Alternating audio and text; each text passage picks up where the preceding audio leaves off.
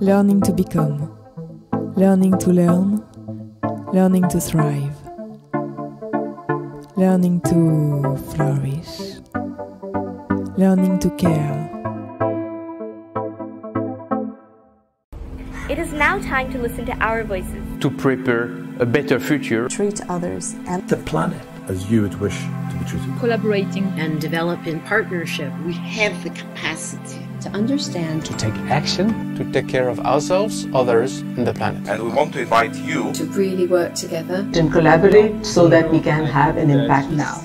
Welcome to Learning Planet Festival. It can just get better. On est ravis de vous avoir parmi nous aujourd'hui. Euh, on va commencer pour cette session du Launchpad avec la présentation du bonheur à l'école par Martin Messonnier. Martin, c'est à vous. Bonjour, voilà, bah, je m'appelle Martin Messonnier et je suis euh, réalisateur de documentaires et je suis aussi musicien.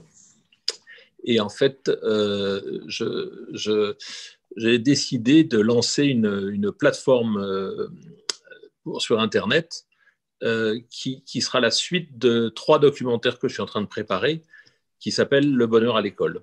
Et euh, l'idée de, tout ça, c'est de, montrer aux gens qu'il y a des écoles qui sont différentes dans le monde entier euh, et qui ne remplissent pas le vase, qui, et plutôt qui allument le feu, comme disait Plutarque.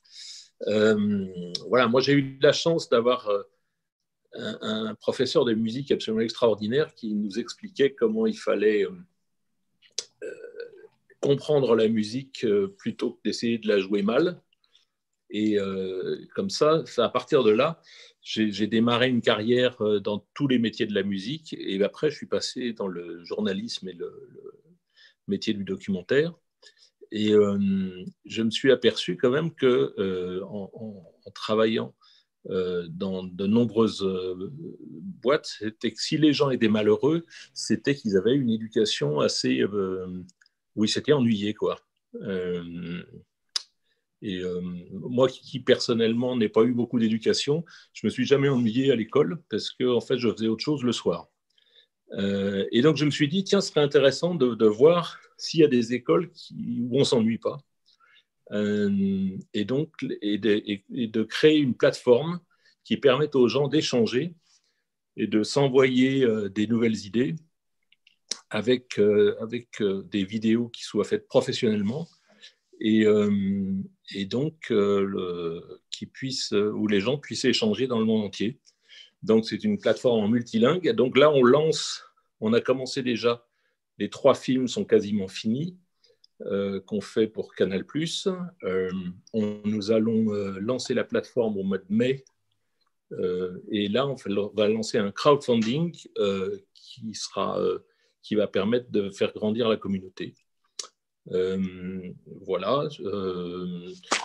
je regarde si j'ai encore du temps, parce que le temps, c'est important. Donc, cette plateforme, elle va être, il y aura des dizaines de, petites vidéos avec des pédagogies qui permettent de comprendre euh, comment euh, une école euh, ou un professeur fait quelque chose. Par exemple, il y a une professeure à Courbevoie qui apprend aux élèves de CP à faire des petites vidéos. Il y a en Inde, à l'école de Kiran Birsetti, qui est quand même une des invitées principales du Learning Planet, par exemple, tous les jours, ils font ce qu'on appelle des conglomes. Et les conglomes, c'est des espèces de petites cérémonies libératoires euh, qui sont entre le jeu et le, euh, et où, euh, où, les gens font quelque chose qu'ils n'ont pas l'habitude de faire avec leurs professeurs de façon à mieux se connaître et à mieux s'apprécier. On va en Estonie où on va voir comment on apprend la chimie en faisant de la réalité virtuelle. On va aller, on va aller au Canada où on va voir Marie Gordon, une psychologue qui amène des enfants à l'école pour euh, empêcher le, le harcèlement euh, et pour que les enfants euh, cessent d'avoir des attitudes trop macho. voilà, il y a plein d'idées possibles. Euh, et, on a ce qu'on a filmé déjà, c'est assez extraordinaire. Euh, donc voilà, c'est pour ça que là on lance ce projet et j'espère qu'il y aura beaucoup de gens pour nous rejoindre. Voilà, voilà. Donc euh, je pense que c'est le moment de passer la vidéo parce que sinon je vais être trop long.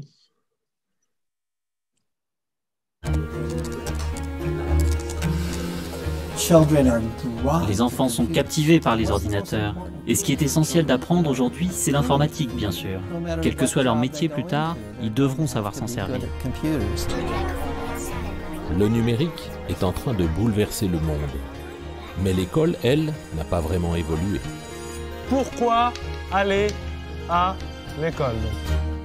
Avec la multiplication des écrans, les enfants sont de plus en plus nombreux à décrocher. Each year, approximately 1 million students drop out of high school. That's roughly 7,000 every day. Alors, comment leur redonner l'envie d'apprendre? Partout dans le monde, de Paris à Bogota, des gens expérimentent et réinventent l'éducation. On fixe des objectifs aux enfants selon leur personnalité et leurs intérêts. C'est pour ça qu'ils font tous des choses différentes. Je voulais être médiateur parce que j'avais envie de régler.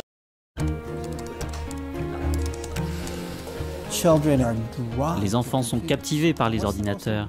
Et ce qui est essentiel d'apprendre aujourd'hui, c'est l'informatique, bien sûr. Quel que soit leur métier plus tard, ils devront savoir s'en servir. Le numérique est en train de bouleverser le monde. Mais l'école, elle, n'a pas vraiment évolué. Pourquoi aller à l'école? Avec la multiplication des écrans, les enfants sont de plus en plus nombreux à décrocher. Each year, approximately 1 million students drop out of high school. That's roughly 7,000 every day. Alors, comment leur redonner l'envie d'apprendre? Partout dans le monde, de Paris à Bogota, des gens expérimentent et réinventent l'éducation. On fixe des objectifs aux enfants selon leur personnalité et leurs intérêts. C'est pour ça qu'ils font tous des choses différentes. Je voulais être médiateur parce que j'avais envie de régler les conflits de mes copines. Il t'a poussé et après tu l'as griffé. Oui, c'est ça. Avec un sport que personne ne connaît, chacun doit trouver de nouvelles stratégies pour jouer ensemble. Ce qu'on veut qu'ils développent, c'est des qualités de leadership.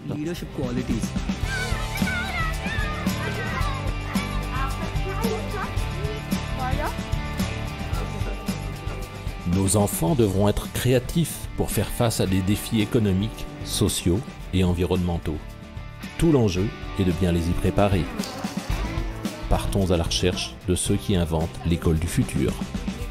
C'est formidable d'apprendre aux enfants l'optimisme. Quand ils sentent qu'ils sont acteurs de leur vie, ils ne travaillent plus par obligation, mais par choix personnel.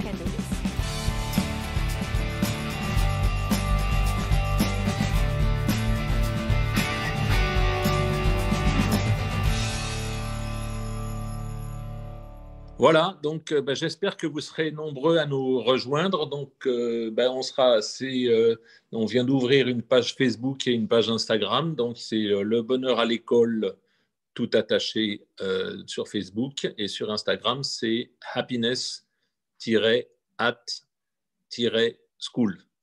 Voilà, et ben bravo et merci à Learning Planet. Merci beaucoup, Martin. Et euh, on va laisser euh, le lien dans le commentaire aussi euh, du, du, plateforme pour tous Merci. les participants. Merci beaucoup, Martin. Merci, Edouard. Super. Alors, bah, super. On a bien commencé. On va passer maintenant par la présentation du s'aventurier et le MOOC, le pédagogue chercheur s'aventurier, par Alice Latimier et Bruna Lobiondo. Donc, c'est à vous.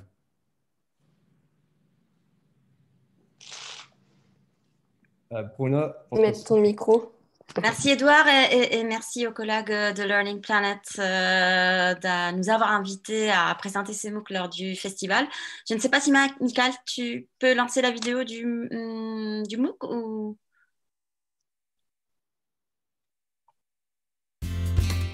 Pourquoi le pédagogue chercheur? Parce qu'enseigner est un sport de combat. L'éducation par la recherche part du postulat qu'aucune méthode pédagogique n'a de vertu en soi. Quelle qu'elle soit, une méthode sera toujours subordonnée à l'expertise de l'enseignant. C'est la vigilance pédagogique de celle et de celui qui conçoit et anime le dispositif classe qui garantit, pour chaque élève, des apprentissages profonds, motivés et autorégulés. Mais qu'est-ce qu'un pédagogue-chercheur Puisque l'acte d'enseigner est une pensée en action, la posture du pédagogue-chercheur traduit une double affirmation. Enseigner est un métier de conception, d'ingénierie et de recherche et non un métier d'exécution et d'application.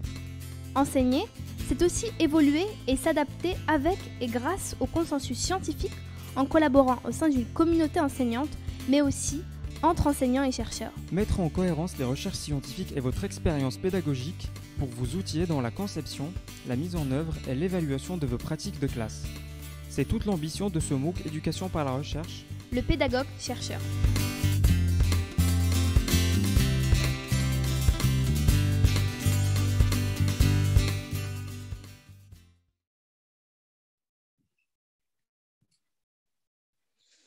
Oui, donc euh, euh, le, hum, juste une petite présentation des aventuriers école de la recherche. Moi, je m'appelle Bruna Lobund, je suis ingénieure euh, pédagogique pour ce programme, qui est un programme du CRI créé en 2013 par une professeure de l'école en Sourd et un chercheur François Tadei, et dont le but est d'initier les élèves de tous les cycles scolaires, de la maternelle euh, jusqu'au lycée à la méthode de la recherche. Donc, euh, euh, ce MOOC, le pédagogue chercheur, dont le premier épisode est, est en ligne depuis vendredi soir sur la plateforme France Université Numérique, est un MOOC qui souhaite initier les enseignants, mais aussi les chercheurs qui veulent s'investir dans des projets aventuriers et les cadres éducatifs à la méthode de l'éducation par euh, la recherche. Il s'agit d'un MOOC en cinq épisodes. Euh, donc, euh, à partir de la semaine prochaine, on, mettra en ligne chaque épisode à partir tous les jeudis soirs. Et nous allons aussi, à travers des activités, des exercices, un forum, animer la, communauté des apprenants de ce MOOC à laquelle nous proposerons aussi des, moments d'échange en direct euh, par les biais de deux euh, webinaires dont les dates seront annoncées très prochainement. Euh, juste rapidement, les intervenants en ces MOOC sont des intervenants qui sont à la fois des spécialistes de l'éducation par la recherche, des chercheurs, des enseignants, mais aussi des communicants, parce que nous avons aussi les contributions, par exemple, de journalistes qui vont nous expliquer euh, quelles sont les techniques euh, communicatives pour euh, rendre accessibles les sujets liés à la recherche au plus grand nombre. il y aura aussi une partie dédiée à l'intégration du numérique dans les projets de recherche amenés avec les classes et euh, nous aurons cette année, nous avons fait le choix aussi de proposer un, accompagnement spécifique euh, pour euh, les enseignants travaillant dans des zones d'éducation prioritaire, donc REP, REP+, et zones rurales, mais aussi aux débutants euh, et donc, euh, nous euh, avons le plaisir d'avoir accueilli dans notre équipe pour l'animation de ce MOOC Alice Latimier, qui est docteur en psychologie cognitive, mais aussi mentor depuis plusieurs années dans les projets aventuriers du cerveau. Et c'est grâce à cette double casquette de spécialiste des sciences cognitives et de mentor dans les projets aventuriers qu'elle va pouvoir accompagner euh, la communauté apprenante euh, avec l'équipe pédagogique euh, S'aventurier. Donc, je laisse la parole à Alice qui va se présenter et présenter un peu son rôle dans l'animation de ce MOOC. Merci. Merci beaucoup, Bruna. bonjour à tous. donc, j'ai fait ma thèse à, à l'ENS. Avec Franck Ramu, j'ai travaillé sur la manière dont on pouvait euh, améliorer, optimiser la rétention en mémoire de nouvelles connaissances en utilisant tous les travaux qui avaient été réalisés dans le domaine de la science de l'apprentissage. Donc, quelles sont les techniques qui permettent de, de mieux apprendre, de mieux retenir, de mieux maîtriser? Et euh, en parallèle de, ma thèse, euh, donc, je travaille avec les aventuriers déjà depuis, depuis longtemps, depuis 2015. J'ai commencé comme euh, animatrice dans les écoles. Donc, j'organisais des ateliers auprès d'enfants qui, qui, visaient à faire de l'acculturation scientifique, à déjà initier à, la posture de chercheur voilà, donc dans une école de, primaire. Et, en parallèle, j'ai été, j'ai été mentor donc, sur les projets S'aventurier du cerveau. J'ai accompagné des enseignants qui étaient euh, au collège, en primaire, et euh, je les ai accompagnés, aidés pour euh, développer leur, leur projet avec, avec leur classe. donc à chaque fois, c'était des projets très différents, même si ça partait souvent d'une même question qui était comment, comment notre cerveau apprend. ça a mené à des projets radicalement différents. Donc c'est ça qui me fascine à chaque fois, c'est de voir qu'à partir d'une même question scientifique, en fonction de la classe, de l'enseignant, des idées, euh, la production est différente et, à chaque fois de très bonne qualité. J'ai eu la chance de voir le résultat de, ce type de, projet euh, lors du, congrès euh, des jeunes chercheurs organisé par les aventuriers chaque année, qui je pense n'a pas eu lieu l'année dernière malheureusement. Euh, et donc, euh, l'objectif de ma participation dans ce MOOC, c'est de pouvoir euh, faire profiter de, cette expérience en, tant que, mentor et de pouvoir s'adapter aux différents projets qui sont proposés par les enseignants. certains ont déjà des idées qui, qui, ont pu mûrir depuis un bout de temps, d'autres commencent tout juste, donc ce n'est pas du tout la même manière d'aborder la chose. Et même si ce MOOC est déjà extrêmement voilà, euh, pédagogue et où il y a beaucoup de clés, beaucoup de ressources, beaucoup d'inspiration. Euh, le but, c'est de pouvoir, euh, on va dire, prendre par la main des enseignants qui auraient un peu plus de difficultés en fonction justement de leur, de leur classe, donc REP, REP+, zone rurale, débutant pour pouvoir apporter quelque chose d'un peu plus personnalisé et pouvoir passer plus de temps avec eux pour mieux mûrir le projet, mieux réfléchir euh, et, vraiment répondre à, voilà, aux difficultés, aux besoins. Euh, euh, voilà, je pense que j'ai tout dit. Et voilà, donc là, je viens de finir mon postdoc sur l'étude de l'expertise musicale. Et donc, je vais continuer de travailler sur l'apprentissage, la formation et l'apport de, de, la démarche scientifique dans les réflexions en général, quelles qu'elles soient.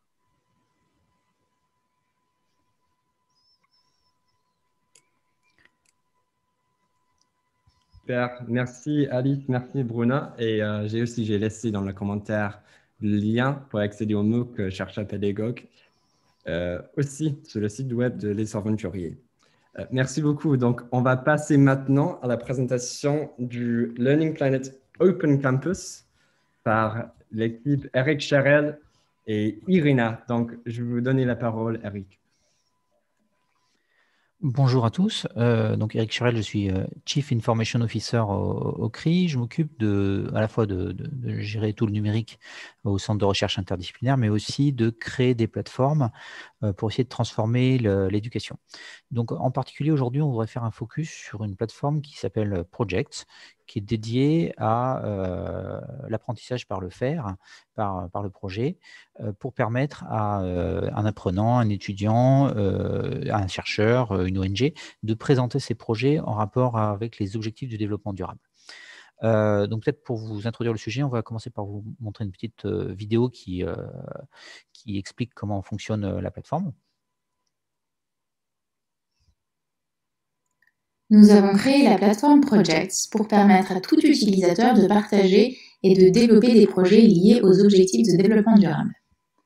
Sur notre plateforme, vous pouvez vous inspirer des projets publics en les parcourant, en utilisant nos recommandations basées sur l'intelligence artificielle, en cherchant par emplacement géographique ou en les explorant par thème grâce à la carte thématique des tags.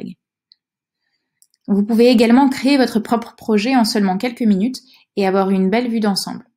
Un projet peut contenir une description riche avec des images et des vidéos, des objectifs de développement durable et des objectifs d'avancement. L'équipe peut communiquer les nouvelles du projet par les publications de blog et rajouter des ressources externes. Il y a une section de commentaires pour échanger avec la communauté. Chaque section est très facile à éditer. Les enseignants peuvent créer des modèles pour s'assurer que les élèves remplissent le projet en respectant une certaine structure. Ils peuvent également donner facilement des retours aux élèves et autoriser la publication des projets. Si vous voulez rassembler les projets de toute une communauté, vous pouvez demander une instance de project et la personnaliser avec l'identité de votre communauté, en rajoutant un logo, votre image de fond, en créant des catégories pour organiser les projets.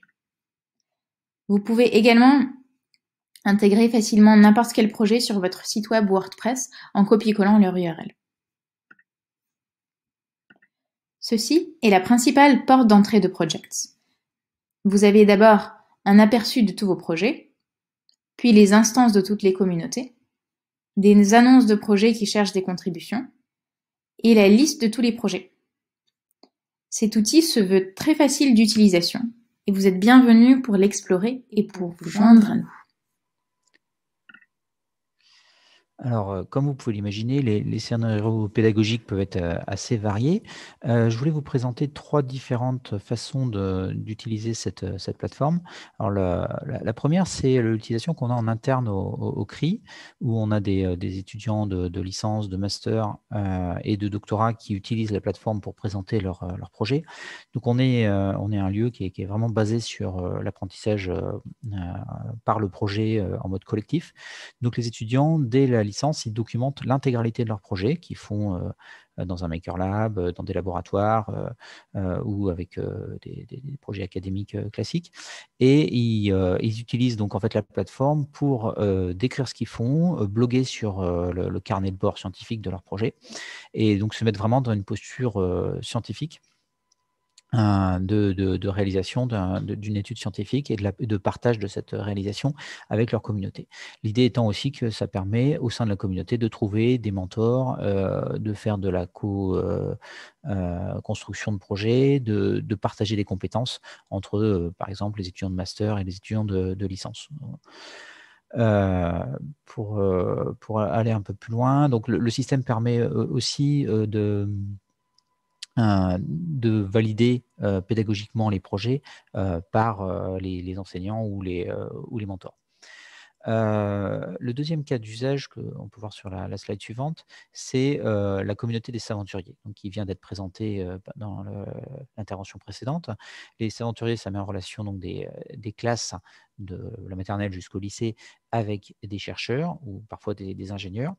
je suis moi-même mentor saventurier pour des, de, la robotique ou, du numérique. Et donc l'idée là, c'est vraiment d'avoir une communauté extrêmement large. et il y, a un, aspect vraiment de discussion au sein de la communauté, puisque notre système il permet en fait de commenter les projets d'autres membres de la communauté et également de recruter des, euh, des participants. Euh, par exemple, dans le, ce que vous voyez à l'écran, on a un projet qui était tout à fait intéressant sur euh, l'analyse des arcs-en-ciel en, physique par des, jeunes élèves. Et ben, ils, essayaient de récupérer des photos d'arc-en-ciel du monde entier au sein de la plateforme et également des mentors pour discuter des, problématiques de, leur projet. voilà, le, système permettant le, l'analyse des mots-clés du projet et de trouver des projets similaires, ça permet aussi de créer des, synergies intéressantes au sein d'une vaste communauté. Euh, le, troisième euh, cas d'usage, c'est ici, c'est euh, ce qu'on appelle la plateforme Prof-chercheur, donc qui a été lancée par un chercheur chilien Ignacio Attal, qui a, regroupé en fait plus d'une centaine d'enseignants euh, de, France et maintenant d'autres pays pour réfléchir à leur pédagogie dans la plateforme. En fait. Donc, euh, on a construit finalement une, une, adaptation de la plateforme spécifique à leurs besoins pour qu'ils puissent euh, définir ensemble les problématiques qu'ils rencontrent en classe. Ça peut être la, gestion de la discipline, euh, les cas euh, difficiles pour l'apprentissage de la lecture, ou voilà, il y avait des exemples ici assez parlants à, l'écran. Et donc cette, cette communauté qui à terme fera peut-être plusieurs milliers d'enseignants peut échanger de façon structurée dans la plateforme, puisque les projets, en fait, dans ce cas précis, euh, disposent de templates qui permettent de, guider finalement l'enseignant dans la documentation de ses, ses expérimentations pédagogiques et lui permet d'échanger de façon structurée avec des chercheurs en sciences cognitives, en sciences de l'éducation, euh, euh, etc. donc pour, pour finir un petit peu sur le, le futur d'une plateforme de ce type-là, on essaye, euh, si on passe sur la slide suivante, euh, sur les, skills, on, essaye de mettre en place un système de suivi euh, des compétences de façon déclarative pour que les, apprenants qui servent la plateforme puissent décrire ce qu'ils savent faire et ce qu'ils cherchent à apprendre en utilisant une ontologie très ouverte qui est construite à partir de, Wikipédia. On, peut finalement déclarer n'importe quelle compétence à partir du moment où elle existe dans, Wikipédia. Donc c'est extrêmement large, a des millions de possibilités. Et, donc l'idée, c'est qu'en permettant aux gens de décrire ce qu'ils savent faire et ce qu'ils souhaitent apprendre, on peut vraiment mettre en lien les gens, les projets, les mentors, les co-apprenants au sein d'une plateforme du mouvement Learning Planet. Et on peut estimer qu'à terme, si on a un million ou plus de participants à Learning Planet, euh, cet ensemble d'outils prennent euh, toute, euh, toute, sa puissance et permettent vraiment à une très vaste communauté d'apprendre de, manière plus, plus efficace à, l'échelle mondiale. voilà en gros les, principes de, des plateformes qu'on essaie de montrer. Donc on, cherche à, récupérer un maximum d'utilisateurs et d'organisations, que ce soit des, universités, des écoles, des ONG, toute organisation qui, euh, s'intéresse à l'apprentissage et aux objectifs du développement durable tels que définis par les Nations Unies peut nous rejoindre. Donc, sur la dernière slide, vous pouvez voir euh, l'URL de la plateforme de projet. Cette plateforme se décline en, en portails qui peuvent être communautaires euh, pour un groupe de recherche, une organisation, mais il y a aussi une plateforme globale qui regroupe tous les projets de l'ensemble des participants à, l'échelle mondiale. Donc, euh, j'espère que vous serez euh, nombreux à, nous rejoindre et, à essayer de construire ensemble un, écosystème qui soit euh, vraiment différent pour promouvoir l'apprentissage par le faire à, l'échelle globale. Merci. Merci beaucoup, Eric et Irina. merci à ces trois présentations. on va juste attendre deux minutes pour la quatrième présentation. Euh, sur la charte parisienne des droits de l'enfant. Donc, juste attendez avec nous pendant juste deux minutes. Merci beaucoup.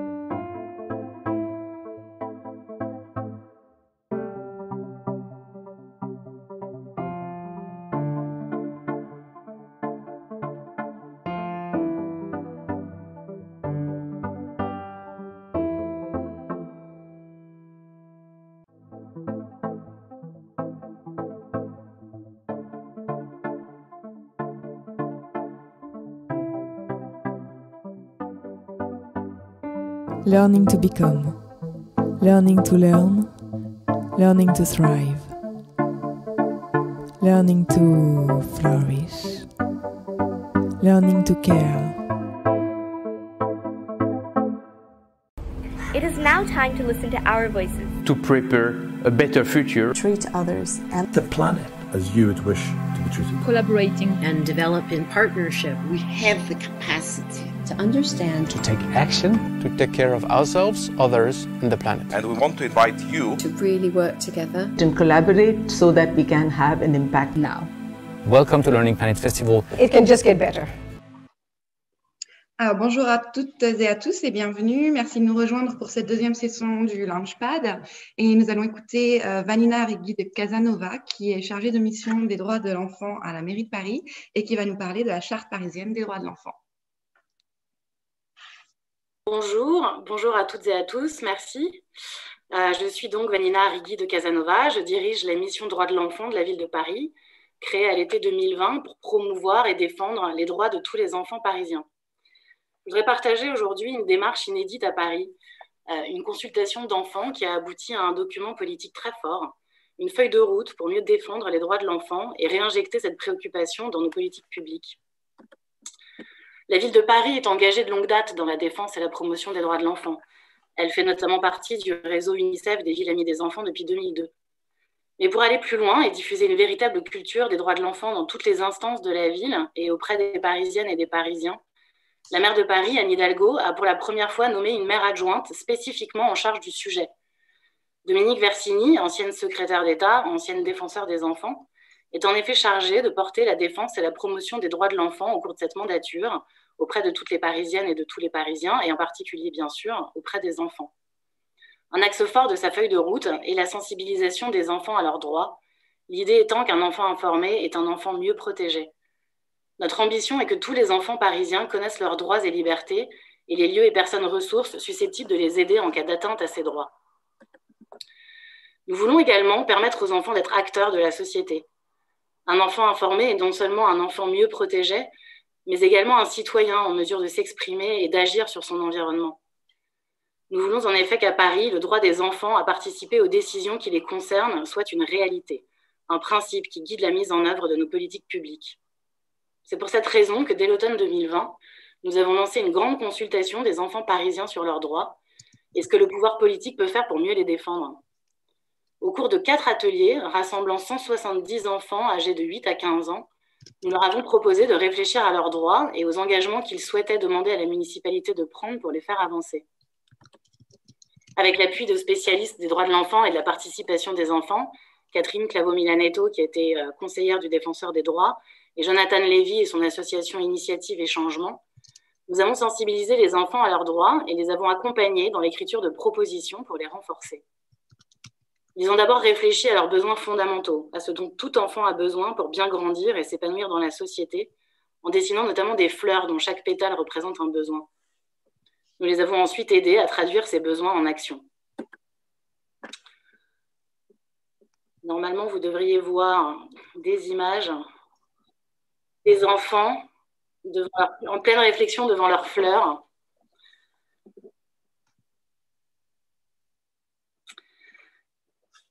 On les a fait travailler euh, dans les salons de l'hôtel de ville notamment. Je crois que malgré le contexte sanitaire, on a réussi à tenir ces ateliers. C'était très important pour nous et, je crois que le cadre des, salons de l'hôtel de ville les a mis dans une ambiance très studieuse et puis leur a montré qu'on prenait vraiment cette démarche au sérieux. Euh, on a eu avec eux des échanges vraiment étonnants, euh, passionnants, qui montrent que décidément, quand, on écoute les enfants, ils ont, des choses à dire, vraiment. Au cours de, à, l'issue de ces quatre ateliers, euh, les, propositions des enfants ont été rassemblées et six grands thèmes ont émergé. Six domaines prioritaires pour eux, qui sont devenus les six piliers de la charte parisienne des droits de l'enfant. Le premier d'entre eux, c'est la participation aux décisions qui les concernent. Au cours de cette consultation, beaucoup d'enfants nous ont remerciés de leur demander leur avis et de leur faire confiance. Ils n'y sont malheureusement pas toujours habitués. Nous créerons donc notamment un conseil d'enfants auprès de la maire de Paris afin qu'ils soient consultés sur les politiques publiques que nous mettons en œuvre. Le deuxième pilier est le droit à être mieux protégé, par une meilleure information, mais aussi par des actions concrètes leur permettant de se sentir en sécurité dans tous leurs lieux de vie. On voit que ce besoin de protection est très fort et c'est sans doute l'axe sur lequel ils ont fait le plus de propositions. À nous maintenant de faire notre travail. Le troisième pilier, c'est la lutte contre les discriminations et pour l'égalité entre tous les enfants. Ils y sont vraiment très sensibles et ils ont fait des belles propositions. J'espère que vous aurez accès au document après, sinon il est téléchargeable sur le site de Paris. Le quatrième pilier concerne les enfants en situation de handicap. C'est aussi une préoccupation très forte chez les enfants. Ça nous a, ça nous a beaucoup étonnés. Euh, on sait qu'il y a beaucoup à faire pour garantir les mêmes droits à tous, quelle que soit sa situation, et, et les enfants, ils sont vraiment très sensibles. Le cinquième pilier, euh, c'est la solidarité. Ils aspirent à plus de solidarité et surtout à être acteurs de cette solidarité. Ils ont notamment euh, proposé de faire eux-mêmes du bénévolat en direction des personnes sans abri ou des personnes âgées. Ça a donné de très jolies propositions. Et enfin, euh, le sixième pilier de leur charte, c'est la préservation de la planète, bien sûr. la question de l'environnement est une préoccupation très forte chez les enfants parisiens, comme sans doute dans la plupart des, des grandes villes et pays du monde. Et comme souvent, ils demandent aux adultes d'en faire plus, mais aussi qu'on leur donne les moyens d'agir eux-mêmes. Le résultat final est un très beau document, plein de générosité, d'intelligence, d'idées innovantes, non seulement pour mieux respecter les droits des enfants, mais aussi pour construire une société plus juste et plus solidaire. Et moi, vraiment, ça m'a, ça m'a, ça m'a, je trouve qu'il y a de quoi avoir confiance en l'avenir quand on écoute ces enfants. Le 18 novembre 2020, une délégation d'enfants ayant participé à l'écriture de la charte a présenté solennellement le fruit de leur travail à Dominique Versini, maire adjointe chargée des, droits de l'enfant et de la protection de l'enfance. Ils ont déclamé leur charte, chacun leur tour. Et puis, ils ont pu poser euh, pour la photo avec euh, Madame Versini et puis Patrick Bloch, notre maire adjoint, chargé notamment de l'enfance et de l'éducation dans les salons de l'hôtel de ville. Et la maire de Paris a ensuite signé cette charte le 20 novembre 2020, journée internationale des droits de l'enfant. Et désormais euh, a engagé l'ensemble de la municipalité parisienne à, mettre en œuvre les propositions des enfants de, issues de cette charte. La charte parisienne des droits de l'enfant est donc un document qui engage toute la municipalité et dont les propositions seront mises en œuvre au cours de la mandature. C'est une belle feuille de route pour faire vivre et renforcer les droits des enfants sur le territoire parisien. Notre objectif, c'est que ce document soit diffusé le plus largement possible et notamment bien sûr auprès de tous les enfants. Pour ce faire, la mission que je dirige a recruté une équipe de volontaires en service civique, les jeunes volontaires des droits de l'enfant, que nous avons formés pour mettre en œuvre les actions de sensibilisation des enfants à leurs droits dans tous leurs lieux de vie. Nous accueillerons chaque année une nouvelle promotion de jeunes volontaires afin de sensibiliser un maximum d'enfants au cours des six prochaines années. Lors de leurs interventions auprès des enfants, les jeunes volontaires présenteront bien sûr la Convention internationale des droits de l'enfant, mais aussi cette charte parisienne, afin que chaque enfant parisien puisse se l'approprier, parce que c'est vraiment le, le, le, document, la charte parisienne des enfants. Ce document fondateur doit aussi être un outil, il nous semble, au service du développement d'un réseau de villes en France et à l'étranger, leader des droits de l'enfant et de la participation des enfants à la construction du monde de demain. En conclusion, je souhaite laisser la parole aux enfants dans ce court film tourné pendant les ateliers d'écriture de la Charte parisienne des droits de l'enfant. Vous verrez un petit peu euh, leur, leurs impressions à chaud sur, euh, sur ce processus euh, de participation. Et maintenant, c'est l'heure de la vidéo. Merci beaucoup. Il n'y a pas que les garçons qui ont le droit de faire des sports.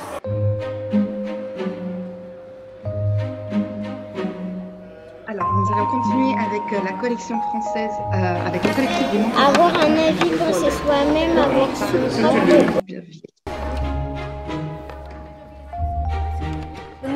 notre groupe, nous avions le thème du bien-être et nous avons euh, certaines idées comme euh, euh, mieux manger à la cantine. J'ai proposé une chose qui est euh, d'éviter de gâcher la nourriture. Ce que vous avez soulevé, c'est avoir un métier qui nous rende tous heureux, de pouvoir tous aller à l'université, peu importe de là où on vient.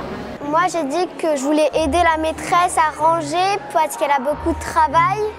Il y avait l'acceptation des différences et de la diversité, donc ne pas être jugé pour son habillement, pour sa couleur de peau, pour sa religion, pour ses croyances.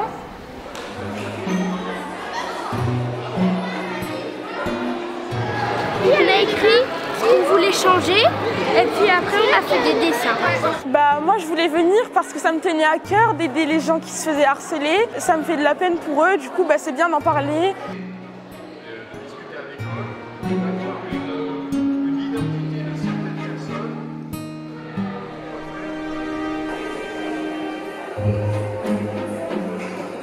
Cette charte-là, elle va nous servir à faire évoluer l'esprit des gens, faire changer les choses. Cette charte, elle va apporter un message à travers le monde, parce que peut-être que nous, on est heureux, mais il y a d'autres personnes, d'autres enfants qui sont tristes, maltraités. Peut-être que nous, on est heureux, mais il faut penser aussi à eux. Qu'est-ce que vous C'est pour quels enfants quel âge?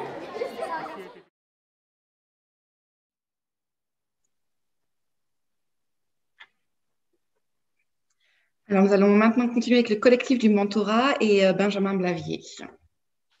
Bonjour à tout le monde. Euh, oui, je suis donc euh, Benjamin Blavier. Je suis le cofondateur et coprésident de Article 1, qui est une association de mentorat, et nous faisons partie effectivement des, des fondateurs du, du, collectif Mentorat, euh, dont je vais vous parler. C'est une initiative encore relativement récente, puisque ça date de septembre 2019.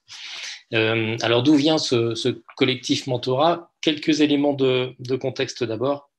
Euh, vous avez évidemment euh, une situation que tout le monde connaît, qui est que en France, malheureusement, en fonction de votre territoire de naissance, en fonction de votre couleur de peau, en fonction de votre genre, de la fortune de vos parents et autres, euh, votre destin scolaire, malheureusement, peut être évidemment biaisé, euh, votre accès au diplôme peut être biaisé et votre accès à l'emploi peut être, peut être biaisé. C'est une situation euh, que l'on connaît bien. Le poids de votre origine sociale en France sur votre possibilité de faire des études et d'accéder à l'emploi est malheureusement euh, très, très, très corrélé. nous faisons ce constat alors même que nous savons que les enseignants sont très mobilisés. On fonctionne en France sur un mythe, malheureusement, il faut l'appeler comme ça, qui est que les enseignants seuls dans leur coin vont pouvoir résorber le poids des, inégalités. Et malheureusement, le constat, c'est que ça ne marche pas, même si les enseignants et la communauté éducative restent très mobilisés et est en première ligne sur le front des inégalités, ça ne suffit pas et ils ne peuvent pas, eux, tout seuls, arriver à, combler le poids des inégalités.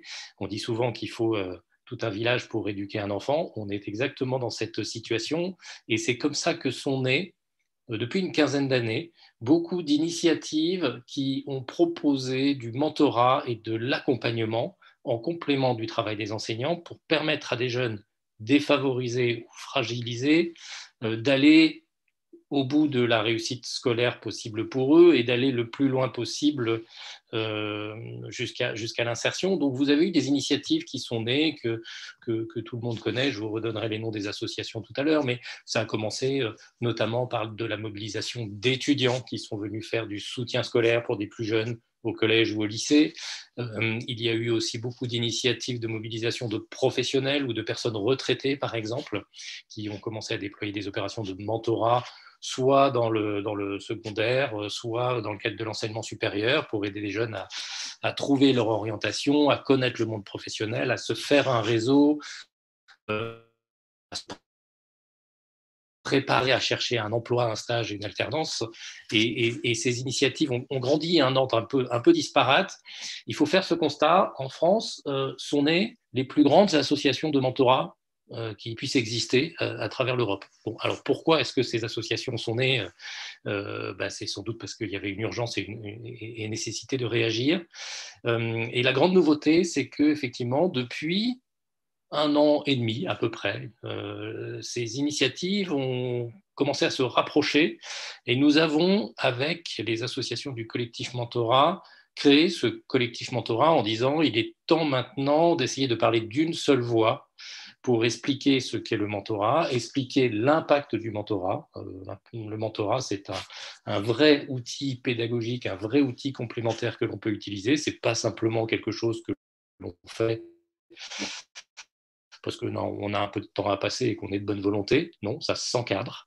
Euh, et donc, nous avons constitué ce collectif mentorat avec huit associations euh, de référence qui interviennent sur différents terrains. Vous avez la FEV, qui est très connue, qui est essentiellement, euh, pas seulement, mais essentiellement sur des mobilisations de publics étudiants pour accompagner des collégiens et lycéens. Vous avez Article 1, donc mon association, qui travaille plus sur le champ de l'enseignement supérieur. Vous avez Chemin d'avenir, qui travaille en particulier sur les jeunes de, zones rurales, de zones isolées, entraîne scolaire amicale, Télémac, nos quartiers ont du talent, Proxité et Socrate. Voilà, ces huit associations se sont unifiées. On fait le constat qu'en fait, on travaille sur des champs qui sont très complémentaires. Nous travaillons sur les questions d'éducation pour un certain nombre d'associations. Donc ça passe par du soutien scolaire, par de l'aide méthodologique. Nous travaillons sur les questions d'orientation. Voilà, on aide les jeunes à choisir un projet qui correspond à leurs aspirations sans autocensure et on aide aussi un certain nombre pour un certain nombre de nos associations euh, sur le champ de l'insertion professionnelle et nos initiatives partent depuis la maternelle pour un certain nombre d'entre nous comme Socrate ou la FEV par exemple jusqu'à la question de l'accès à l'emploi. Donc euh, voilà, le, bout de la chaîne, euh, on va dire qu'on travaille sur les, 12-25 ans, donc un, champ assez, assez, vaste. Nous avons posé ensemble une définition exigeante du mentorat, euh, qui n'est pas que française, c'est une définition internationale. Pour nous, le mentorat désigne une relation interpersonnel d'accompagnement, de soutien, qui se passe sur du moyen long terme. Donc on parle d'au moins six mois, et ça va jusqu'à six ans pour un certain nombre d'associations, et qui est fondé sur une relation bénévole. C'est-à-dire que ce sont des, volontaires qui vont bénéficier d'un certain nombre de, bah, formations de notre part pour se mettre en situation de mentorat.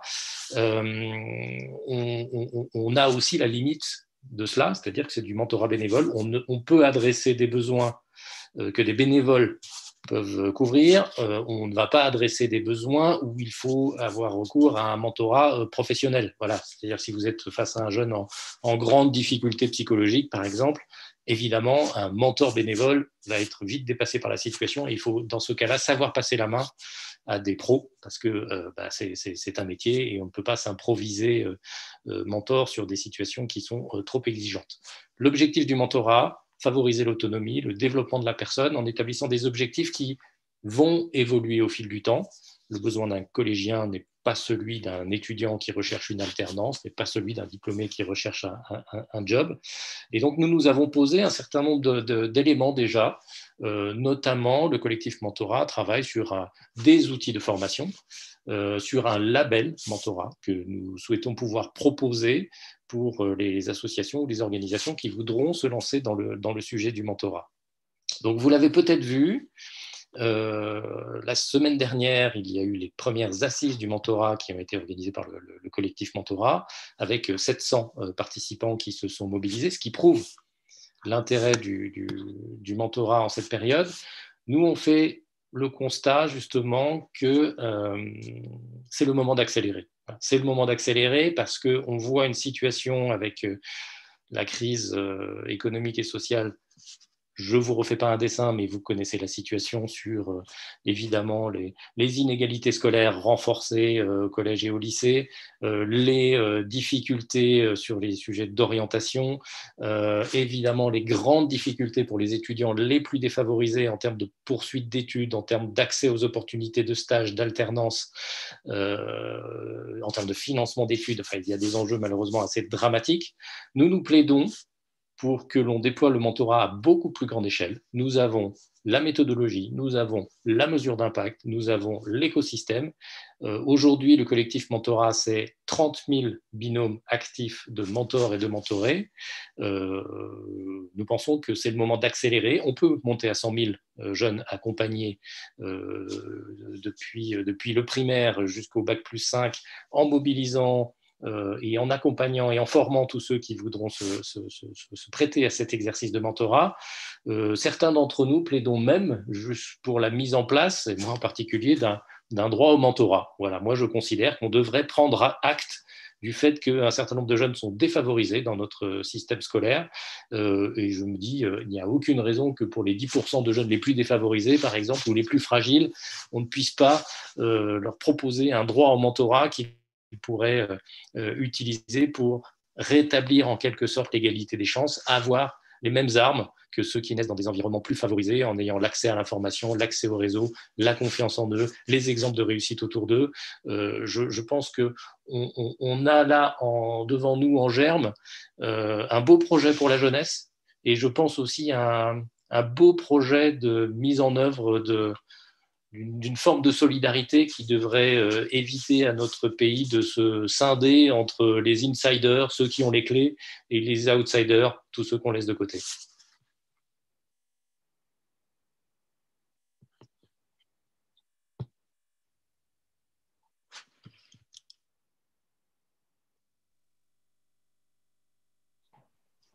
C'est à moi, parce que comme vous avez coupé votre micro, je n'étais pas sûre.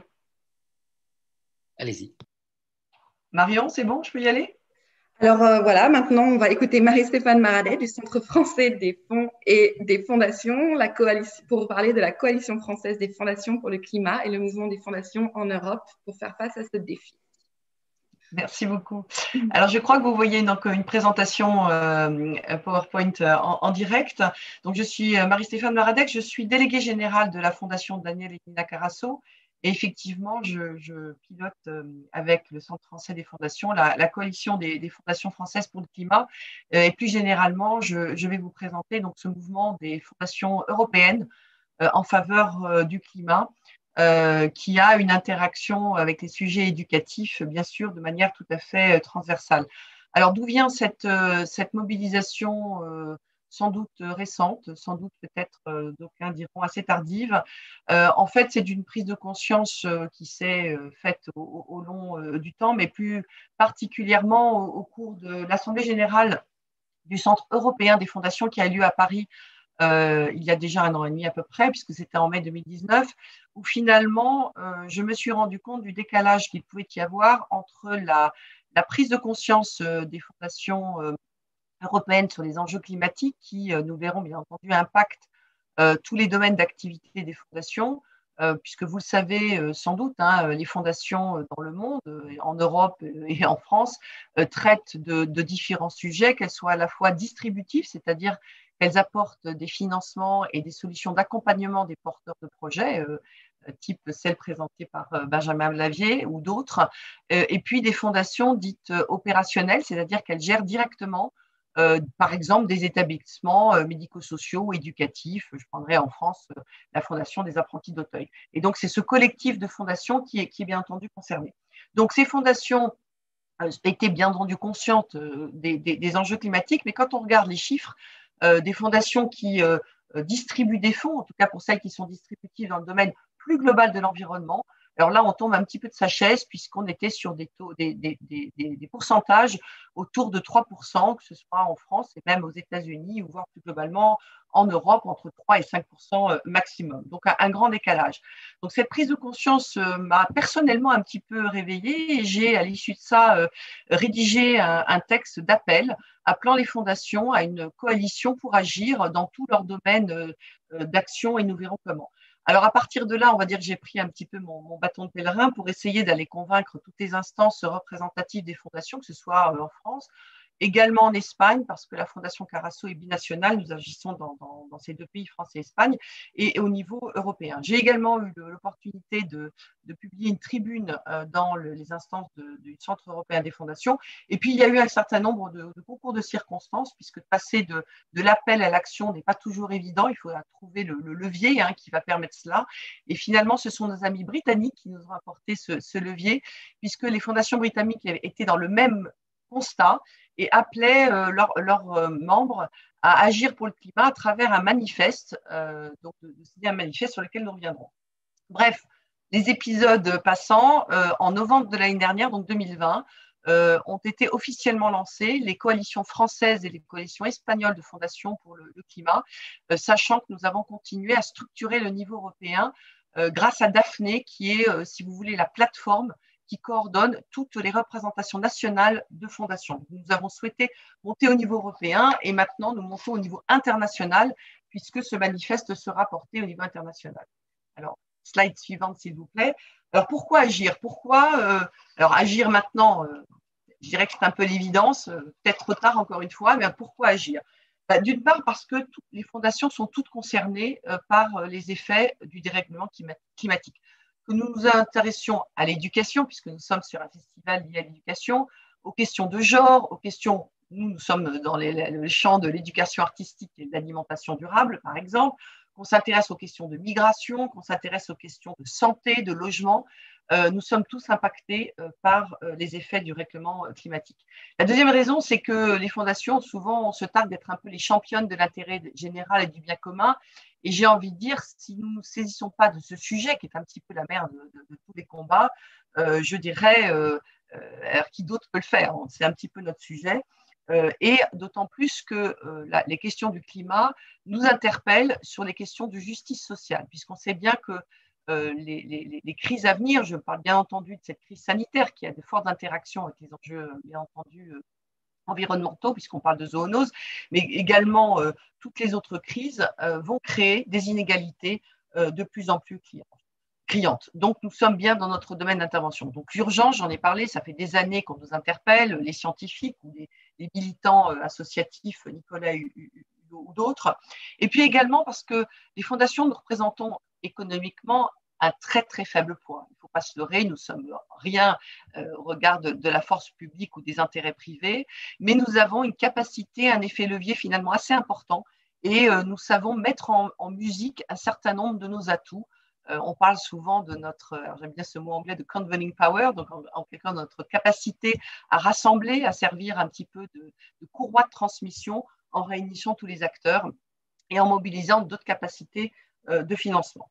Euh, bien entendu, cette coalition, ce n'est pas de dire aux fondations changez vos lignes d'action. C'est bien au contraire d'intégrer dans nos lignes d'action ces enjeux climatiques afin à la fois d'en atténuer les causes, euh, mais également euh, dans, atténuer les effets, mais également les, limiter les causes. Alors, en France, si je prends l'exemple français, euh, slide suivante s'il vous plaît, comment nous avons décidé d'agir? Alors, nous avons organisé une gouvernance avec un comité de pilotage, comité consultatif. Nous avons adressé un questionnaire aux fondations, bien au-delà d'ailleurs des membres du Centre français, pour partir d'un voir de quel était le point zéro un petit peu d'où en étaient les fondations. Nous avons bien entendu rédigé ce manifeste sur lequel je reviendrai en cinq points. Nous avons créé un site web, nous avons euh, financé une coordination parce que sans ressources humaines, on ne peut rien faire. Euh, et également, nous sommes en train de construire une programmation pour accompagner et aider les fondations dans cette transition. Et enfin, euh, nous garantissons un niveau de reporting qui soit également un reporting en coordination avec les autres plateformes européennes lancées sur, sur cette coalition. Alors, slide suivante, s'il vous plaît. Donc, ce manifeste, alors ce manifeste, il appelle les fondations à signer et à agir euh, sur différents points. Bien entendu, la sensibilisation, parce que nous avons un enjeu de sensibiliser nos équipes, notre gouvernance aux questions climatiques. Ça peut paraître une évidence, une lapalissade, mais il y a encore vraiment un gros sujet là-dessus parce que beaucoup de fondations disent mais le climat c'est pas notre sujet. On s'intéresse à l'éducation, on s'intéresse à l'alimentation, on s'intéresse à la santé nous voulons leur montrer les interactions du climat sur tous ces sujets. Et puis, comment ensuite intégrer ces enjeux climatiques sur différents euh, domaines Bien entendu, le fonctionnement interne. Nous sommes, nous sommes des organisations avec notre propre impact euh, carbone sur un certain nombre de sujets, nos déplacements, nos déchets, etc. Donc, comment agir comme n'importe quelle organisation sur ce bilan-là. Ensuite, nos activités. Alors, je, l'ai rappelé que nous soyons des fondations opérationnelles. Nous gérons, par exemple, des centres médico-sociaux. Donc, quel impact carbone on peut avoir dans nos activités là-dessus, mais également comment sensibiliser et accompagner nos bénéficiaires. Idem pour les fondations dites distributives, donc qui apportent des financements et qui accompagnent. Comment intégrer cette lentille climatique dans nos programmes, dans nos activités, mais comment également accompagner nos porteurs de projets. Et là, c'est un véritable défi parce qu'il faut déjà que nous, nous soyons acteurs de la transition pour ensuite accompagner nos porteurs de projets sur cette transition. Et enfin, le nerf de la guerre, l'argent, nos placements, nos investissements quand nous avons des portefeuilles, comment intégrer ces enjeux. Et là, nous savons que nous avons des méthodes, nous pouvons exclure certains types de financement, nous pouvons investir dans des solutions pour lutter contre le changement climatique. Voilà, très rapidement pour conclure, euh, où, nous en sommes aujourd'hui, donc dernière diapo s'il vous plaît, les quelques chiffres au 20 janvier. Nous avions 102 réponses donc, à notre questionnaire. 58 signataires du manifeste pour la France et à peu près 200 euh, en Europe pour le moment, mais nous avons de grands enjeux de communication pour aller au-delà. Nous avons partagé également des ressources sur notre site Internet. Juste quelques chiffres en réponse à ce questionnaire. Vous voyez, 59% n'avaient pas encore pris en compte la question climatique du tout dans leur, pratique ou dans leur programme, donc des répondants, mais 95, 14% envisagent de progresser. Donc, vous voyez que nous partons sur un plateau absolument stimulant pour agir. Et puis, les besoins pour progresser, vous voyez majoritairement l'échange de bonnes pratiques, l'alliance avec d'autres fondations et puis euh, un petit peu moins, mais non moins important, la formation, les supports pédagogiques, etc. Et des groupes de travail. Et nous avons d'ores et déjà acté le lancement de groupes de travail, l'un sur les objectifs de développement durable, un autre sur les, placements, les investissements, un autre sur la formation qui va être très importante, et puis un dernier sur les pratiques euh, internes. Donc c'est une coalition qui se veut nationale, européenne et internationale, et on espère avoir des milliers de signataires. Euh, de fondations qui s'engagent pour le climat. Merci beaucoup, Marie-Stéphane Maradé.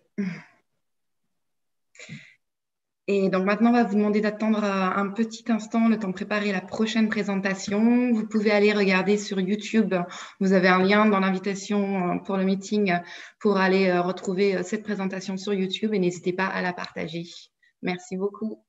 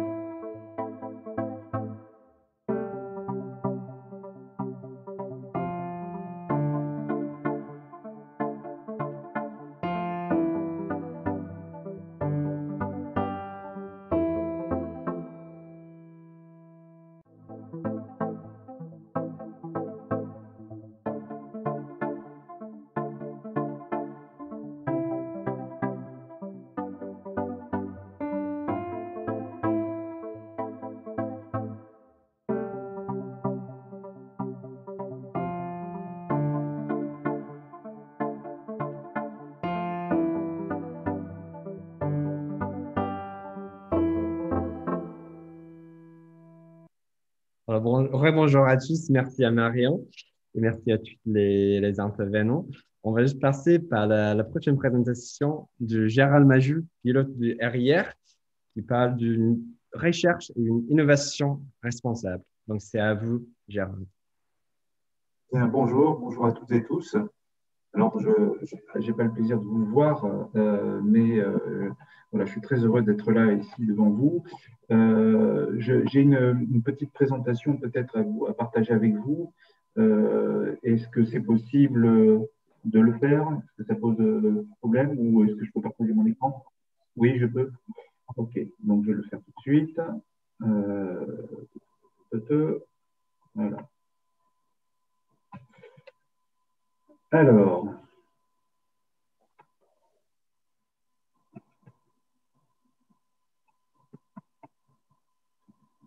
euh,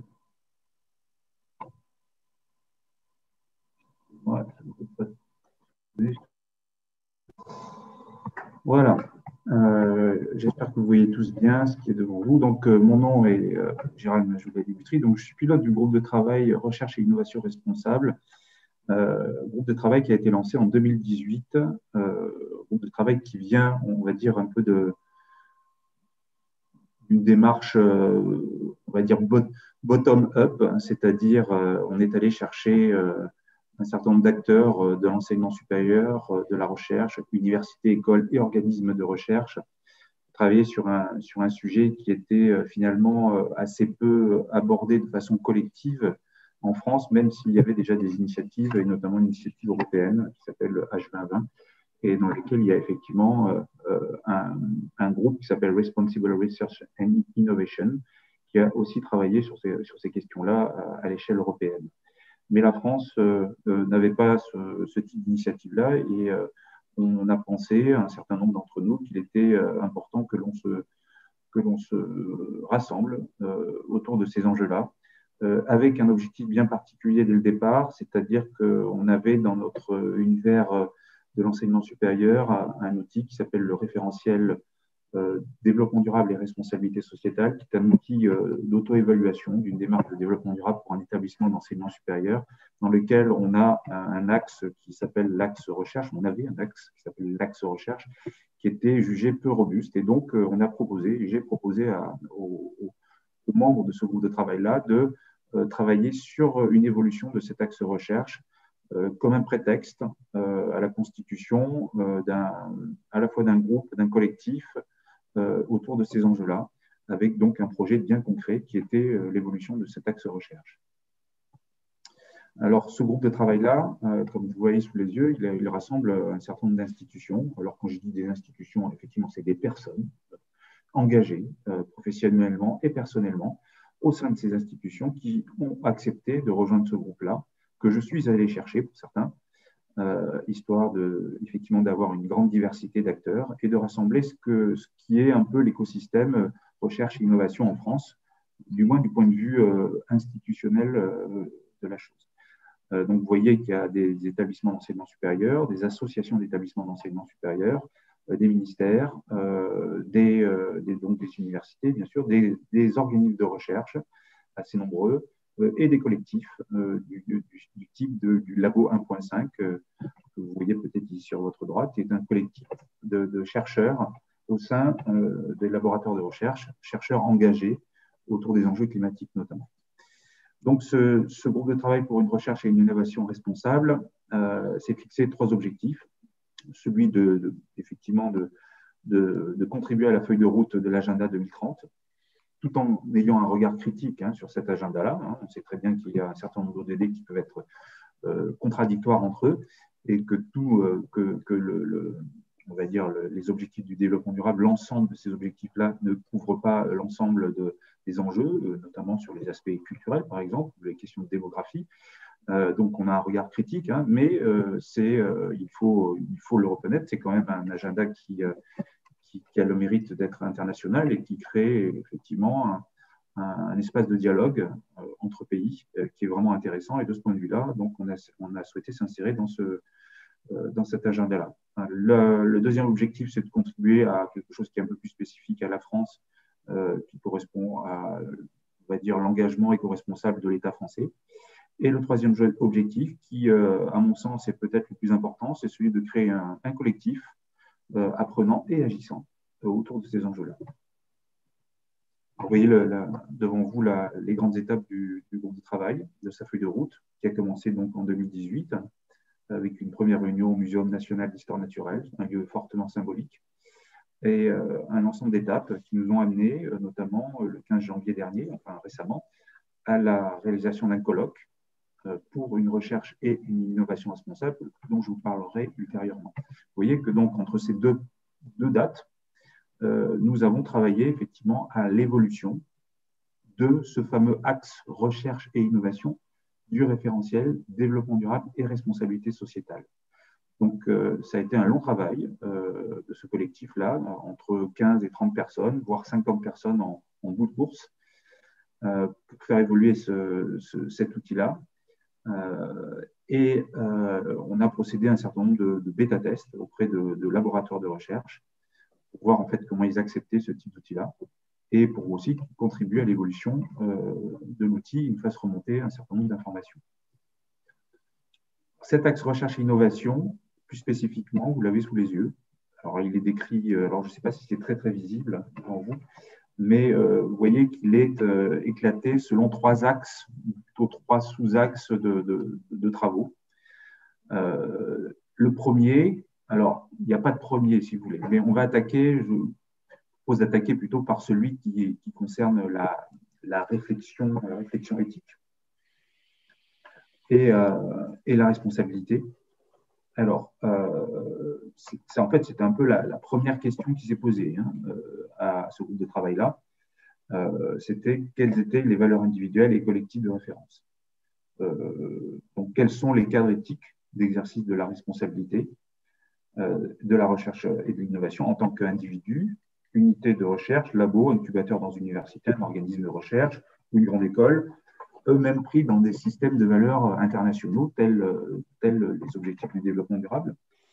Comment est-ce que je peux mettre en œuvre ces pratiques de recherche et d'innovation en respectant l'intégrité scientifique?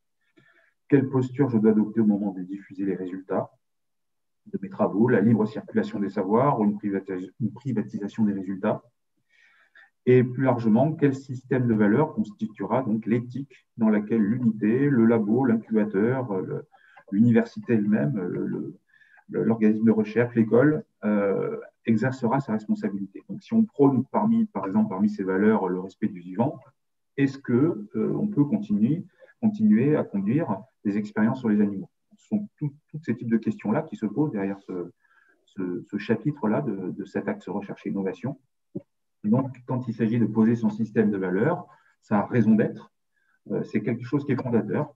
Euh, c'est structurant de, l'univers des possibles dans lequel on va inscrire son activité en tant qu'organisme de recherche et d'innovation. Et donc, on ne peut pas le décréter tout seul, il faut le construire avec les parties prenantes. La deuxième question que vous voyez sur la gauche de, l'écran euh, porte sur la façon d'inoculer le virus de la soutenabilité à l'organisation même de la recherche et de l'innovation. Donc le labo, mais pas exact, c'est pas tout à fait l'échelle du labo. On est plutôt à l'échelle de, l'établissement, donc de l'université, de l'école ou d'un organisme de recherche. Et donc les questions qui se posent là derrière, c'est comment est-ce qu'on pilote ça? Est-ce qu'il faut nommer quelqu'un pour animer euh, cette démarche? Euh, Et avec quel type d'outils on évalue euh, l'efficacité de l'action?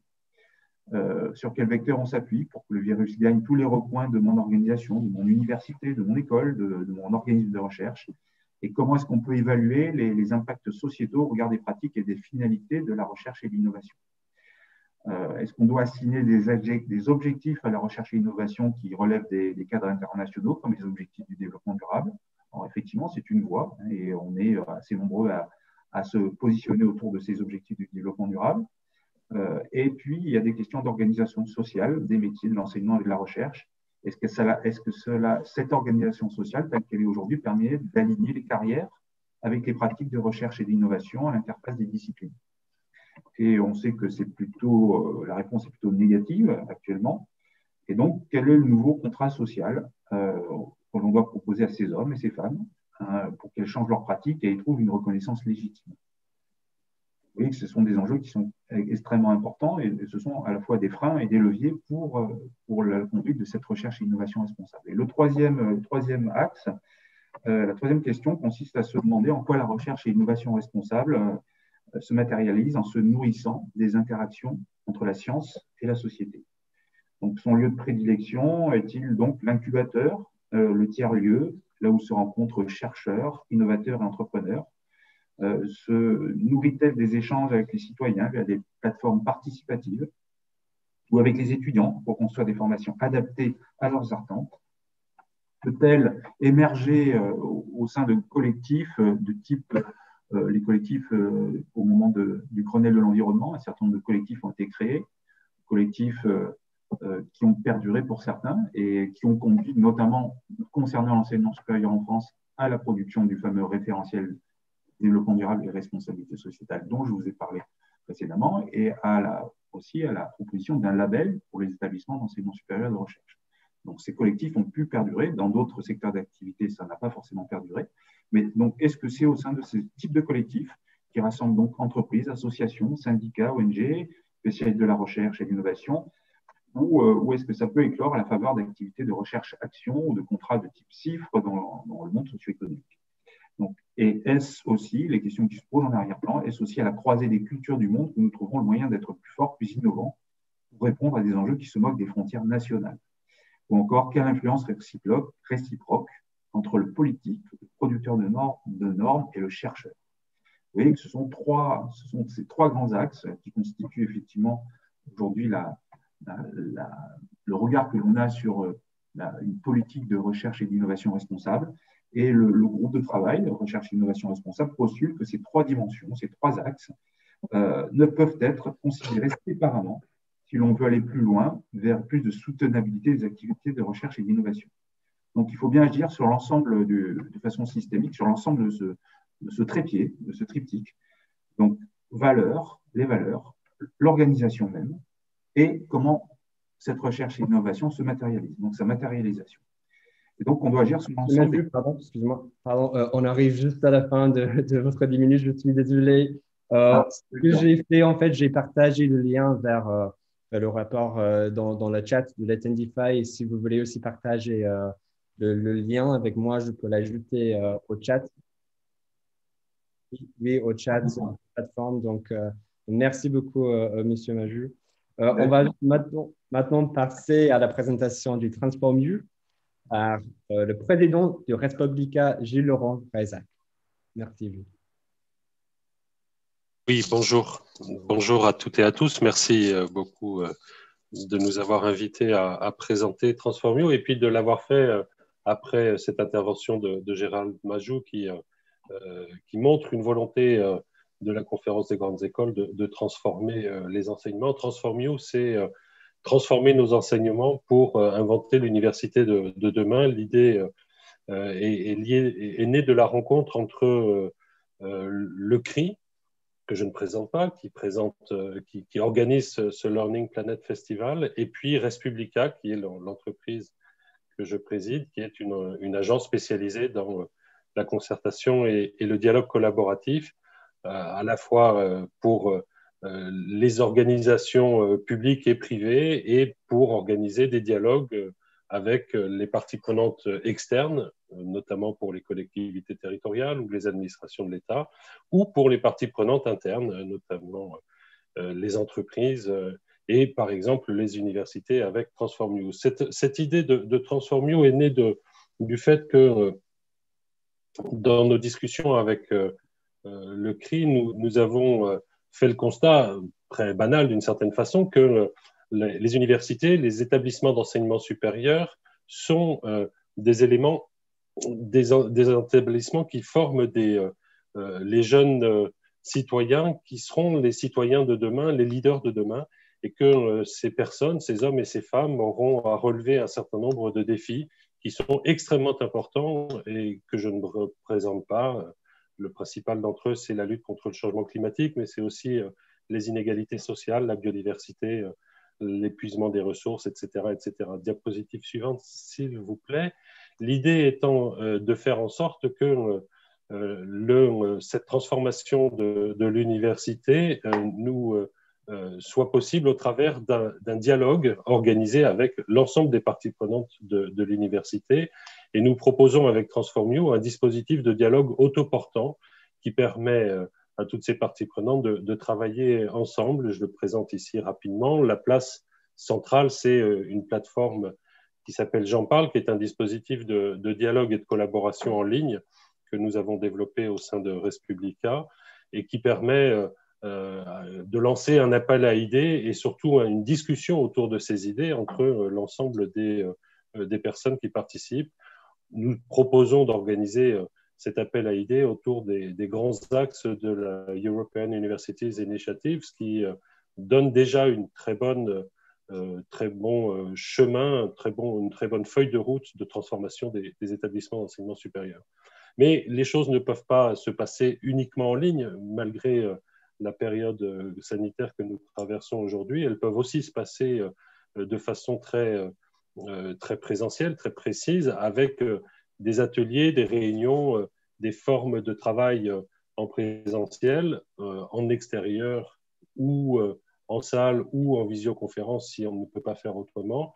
Et c'est pour ça que nous avons mis au point le kit en ligne de Transformio qui permet d'organiser des dialogues collectifs, des ateliers participatifs euh, avec euh, les étudiants, les professeurs, les chercheurs, mais aussi, pourquoi pas, les parties prenantes extérieures aux universités, puisque celles-ci, pour bien travailler, bien fonctionner, doivent évidemment être en lien avec les territoires sur lesquels elles sont implantées, tout en étant dans les réseaux de recherche et d'enseignement nationaux et internationaux qui les nourrissent et qui les renforcent tous ces dialogues, qu'ils soient organisés sur la plateforme J'en parle ou qu'ils soient euh, organisés en, présentiel, en visioconférence, au, cours d'ateliers, ont vocation à se retrouver euh, euh, centralisés grâce à leurs ordinateurs sur la plateforme J'en parle qui, vous voyez en bas de l'image, propose un système de data visualisation à partir duquel tous les participants peuvent commenter les idées qui sont déposées, les liker, les disliker, proposer d'autres idées. Et vous voyez qu'il y a euh, euh, des, cercles plus ou, moins, euh, plus ou moins importants qui montrent les points les plus discutés de ces, de ces idées.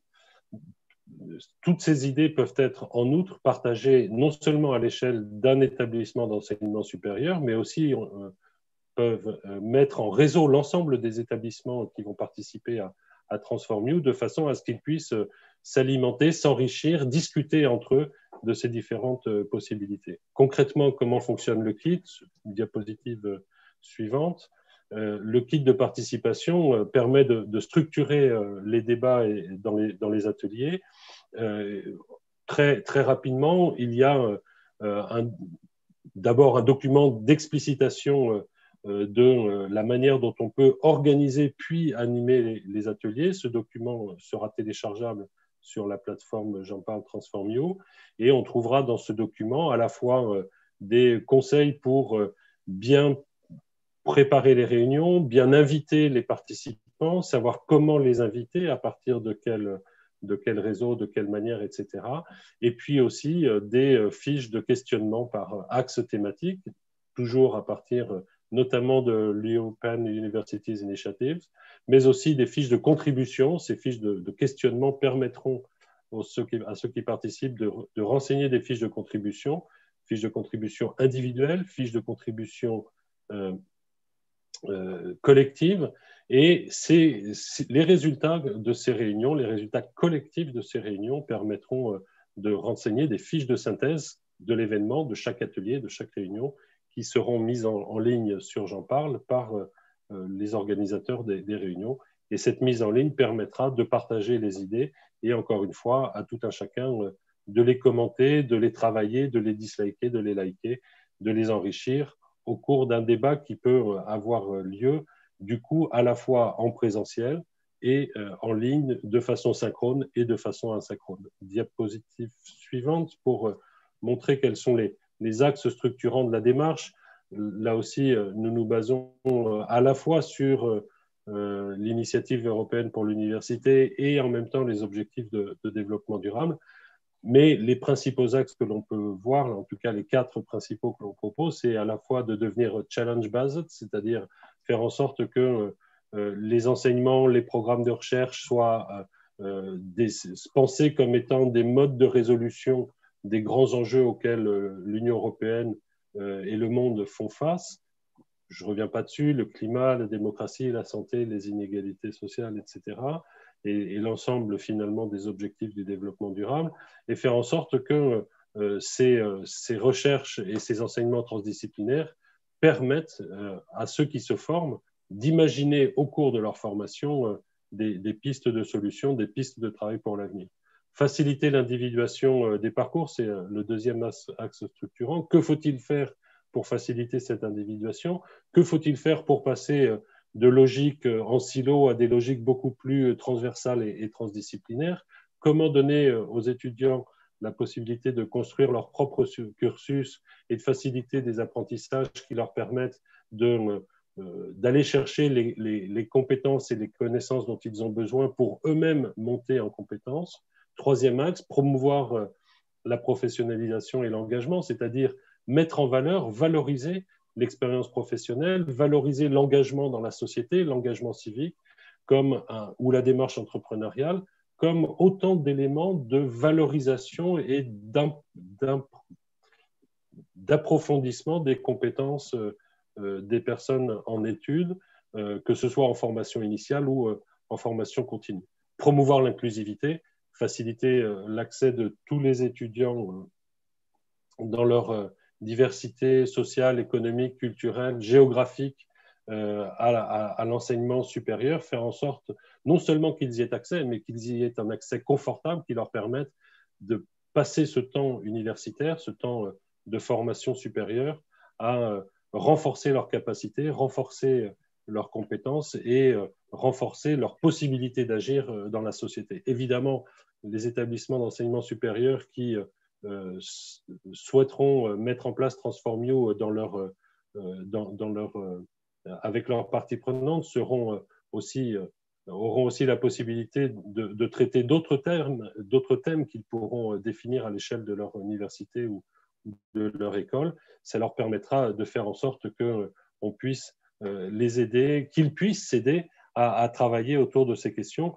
TransformU, c'est une méthode de lancement d'un mouvement de transformation des établissements d'enseignement euh, supérieur. Euh, nous sommes là avec le CRI pour, euh, diapositive suivante, pour aider les établissements qui le souhaitent à, lancer, à lancer TransformU. Et d'ailleurs, nous commençons dès cet après-midi dans le hub du festival Learning Planet. Il y a un atelier à 14 heures dans le hub pour tous celles et ceux qui souhaiteraient nous poser des questions, avoir plus d'informations sur ce projet de transformation euh, qui nous permettra d'inventer l'université et les leaders de demain. Merci de votre attention. Merci beaucoup, Gilles Laurent. Parfait. Alors, euh, on ne peut pas être rejoint par, euh, par Thierry Nardon. Donc, on vous demande juste de patienter pendant deux minutes avant qu'on passe à la présentation de Laetitia Manac du La Hive. Donc, merci juste de patienter pendant deux minutes. Merci beaucoup.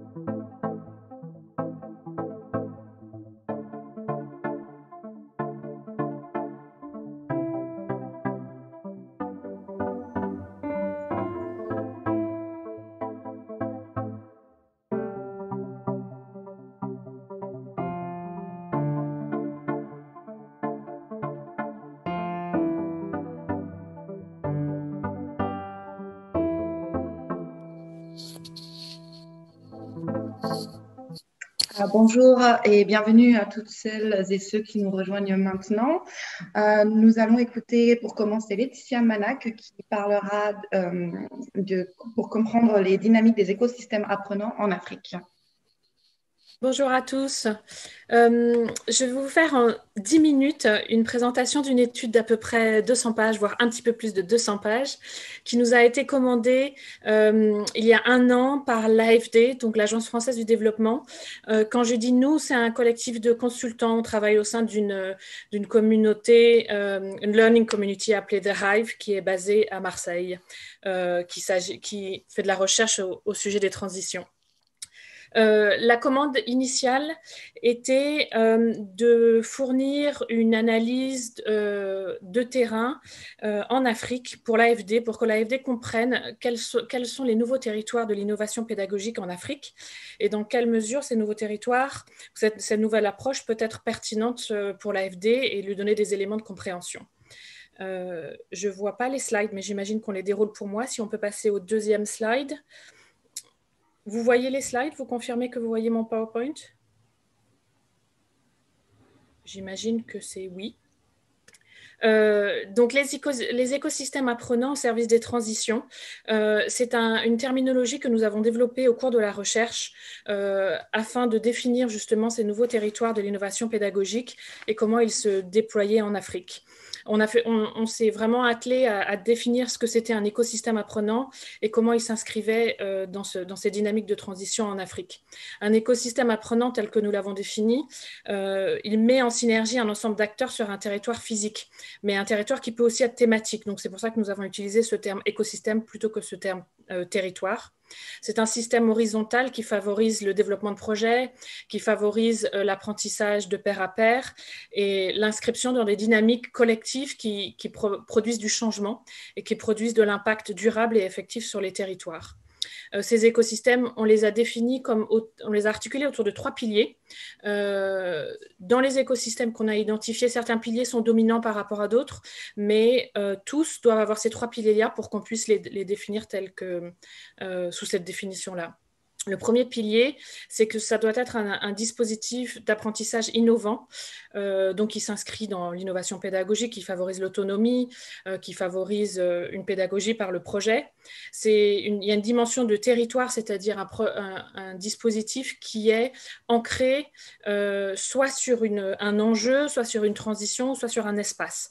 Donc qui est vraiment là pour répondre et pour proposer des solutions dans des dynamiques de transition. Et c'est aussi une communauté apprenante, c'est-à-dire vraiment un espace où les gens travaillent ensemble, où il y a cette dynamique de pair à pair et où on, co-développe des solutions euh, ensemble. Si on veut bien passer au, slide suivant, celui où il y a la carte, euh, la, la, commande initiale était de produire, donc comme je le disais, cette analyse de terrain, mais aussi une demande de cartographie. Donc l'AFD nous avait demandé de regarder sur des pays prioritaires, ils sont sur la carte en rouge, donc je ne vais pas les citer, 12 pays prioritaires, de faire une analyse et de leur, faire remonter euh, des contacts et des fiches d'études de cas euh, sur ceux qu'on pouvait euh, identifier comme étant relevant de l'innovation pédagogique intéressante en Afrique. Donc sur cette, sur cette cartographie, on a recensé 194 initiatives sur, sur ces 12 pays, ce qui n'est pas rien et ce qui nous permet vraiment de dire que euh, ces écosystèmes apprenants ou l'innovation pédagogique en Afrique est un fait qui existe déjà. Certes en émergence, la plupart des initiatives euh, que nous avons recensées, les plus pertinentes, sont très récentes. Donc c'est un, phénomène nouveau, en émergence, mais tout à fait existant et tout à fait réel. Euh, on les a catégorisés dans la cartographie en typologie. Euh, donc, euh, sous ces typologies que vous devez voir, donc dispositif pédagogique innovant. Euh, sous l'intitulé dispositif pédagogique innovant, on a regroupé l'ensemble des initiatives qui avaient un objectif pédagogique prioritaire.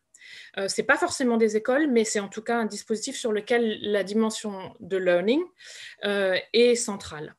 Euh, donc ces, dispositifs peuvent prendre des formes plus ou moins euh, différentes. Certains sont plus formels, d'autres sont, non formels ou informels. Euh, et nous avons identifié dans ce recensement des dispositifs pédagogiques qui avait un impact dans les transitions, que ce soit les transitions pédagogiques, les transitions culturelles, les transitions sociétales, économiques, numériques ou même écologiques. Euh, la deuxième catégorie, c'est les Fab Labs et les Makerspace. Je ne pense pas que j'ai besoin d'expliquer ce que c'est. Euh, ils existent, ils sont très... Il y a un grand réseau de, Fab Labs en Afrique qui existe, donc il y en a, beaucoup. Euh, et, il, y en a qui sont, il y en a qui sont un peu moins engagés, mais il y en a qui sont vraiment actifs et vraiment porteurs de, de nouvelles formes de production et de circulation des savoirs. les tiers-lieux, autre, typologie euh, tout à fait fondamentale, euh, les tiers-lieux, encore une fois, je pense que tout le monde connaît, euh, ce sont ces espaces hybrides qui favorisent le croisement des fonctions, entre des fonctions et des secteurs qui soient économiques, culturels, sociaux, et c'est des espaces qui favorisent le travail entre des acteurs hétérogènes. dans une dynamique vraiment d'hybridation pour favoriser un développement, un développement à tous les niveaux, qu'il soit économique, social, sur le territoire. Euh, la communauté apprenante, c'est donc un groupe de personnes ancrées sur ce territoire dont l'objet est d'engager euh, dans une démarche permanente euh, d'apprentissage collectif. Et enfin, donc les deux derniers, les incubateurs. Donc les incubateurs, on a sélectionné les incubateurs pour lesquels le développement des, entreprises a été autour d'un impact social et écologique. Donc, essentiellement des incubateurs qui travaillent dans cette direction-là, pas des incubateurs purement économiques.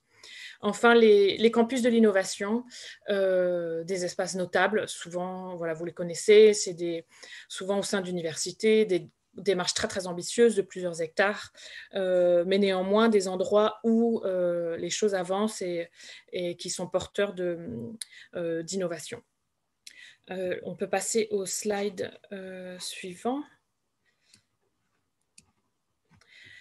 Euh, notre, sur notre étude, on a essayé de comprendre avant tout, d'ailleurs c'est notre première partie, euh, le contexte africain, de quoi est-ce qu'on parle? Et, dans quoi et comment, comment c'est justement réfléchir à ces dynamiques-là fait sens sur le territoire africain. Je remonte ici trois constats, euh, on en a beaucoup plus, mais il y a trois constats très forts euh, qui vraiment révèlent la pertinence de ces approches euh, en Afrique. Le premier, évidemment, un enjeu démographique majeur, une explosion de la jeunesse avec des taux absolument explosifs, que ce soit aujourd'hui et que ce soit dans un futur moyen ou long. donc une nécessité majeure de s'engager avec cette jeunesse-là et de l'accompagner un taux d'analphabétisme toujours fort et très très fort dans certains pays, pas tous, hein, euh, ceux qu'on a étudiés, mais certains pays comme le Niger, on est sur des taux euh, de 90% euh, pour les jeunes adultes. Donc une nécessité de répondre, de former la jeunesse, de s'inscrire dans ces dynamiques, de faire avancer la jeunesse et de l'inscrire dans, dans, dans sa vie active, et de proposer des dispositifs d'accompagnement qui ne soient pas formels, académiques, pour des jeunes qui sont analphabètes. Euh, les processus d'apprentissage permettent aussi un grand effet des multiplicateurs. Donc, quand on en touche un, s'il euh, y a bien cette dynamique de communauté apprenante, euh, potentiellement, on, touche un groupe beaucoup plus large. Deuxième facteur très important, la prépondérance de l'économie informelle. Euh, j'ai mis le chiffre, 95% des 15-25 ans exercent leur activité dans l'économie informelle, c'est-à-dire les petits boulots, c'est-à-dire une activité spontanée, des fois sur la durée, des fois qui change d'un boulot à l'autre, mais en tout cas quelque chose qui passe complètement hors des radars des, des, des institutions, bien évidemment, de l'économie du travail, mais aussi du coup de tous les dispositifs de formation institutionnelle des adultes. Donc là où il est particulièrement pertinent de penser d'autres euh, approches d'innovation, d'autres approches pédagogiques, c'est pour, répondre à ces besoins-là. Et enfin, bien évidemment, les enjeux transitionnels, euh, écologiques, majeurs, mais aussi euh, nutritionnels, de développement, d'égalité aux femmes, etc., dans lesquels les écosystèmes apprenants ont un rôle à jouer. Euh, le slide suivant. Euh, quels sont euh, les atouts de l'Afrique pour développer les logiques d'écosystèmes apprenants? Encore une fois, juste trois constats ici. La tradition du collectif et une culture de l'apprentissage par la communauté. Euh, L'Afrique est connue, euh, on en parle souvent, c'est souvent un peu cliché, mais néanmoins c'est très vrai. Euh, le collectif est primordial en, Afrique. c'est la responsabilité de partage, c'est-à-dire travailler au sein de petites communautés informelles, les tontines pour ceux qui connaissent, où on se soutient, qui favorisent la résilience, le prêt entre, entre individus pour se soutenir dans des projets de vie, et aussi la responsabilité de transmission, c'est-à-dire apprentissage par le collectif donc la tradition orale, la tradition de voilà d'apprendre aux autres et de transmettre oralement. Euh, le deuxième, particulièrement pertinent, euh, l'année dernière, quand on a fait notre étude, l'émergence de tiers acteurs qui ont démontré un rôle très fort sur les transitions, l'impact de leurs activités. Et on l'a vu l'année dernière vraiment pendant la première vague de Covid, euh, pendant le premier confinement, où on a vu une très grande accélération portée principalement par des, tiers-lieux, une, accélération qui, leur a qui permettait la recherche de solutions, la production de communs et aussi l'accélération des usages numériques et l'innovation EdTech. C'est valable partout, mais ça a été très fort en Afrique également. Euh, enfin, et évidemment la puissance d'innovation africaine. Toujours quelque chose d'assez stupéfiant. Euh, à la fois cet esprit jugade, euh, faire mieux et tout aussi bien en mobilisant moins de ressources, et le leapfrogging, c'est-à-dire la capacité à sauter les innovations et à rattraper en cours, quitte à dépasser. Donc, euh, donc on n'est pas du tout, on est vraiment sur une, approche qui fait sens en Afrique, qui répond à des besoins et, et qui est vraiment pertinente et tout à fait existante. J'ai fini mon temps. Et donc le dernier slide de conclusion euh, qui, qui, vous donne tout en bas le lien vers l'étude complète qui est disponible sur le site de l'AFD. Euh, donc une étude réalisée l'année dernière, entre avril et juillet 2020, dans ces 12 pays africains, commandée par le campus AFD Isadora Bigourdan. Vous avez nos noms ici. Voilà. Je vous remercie.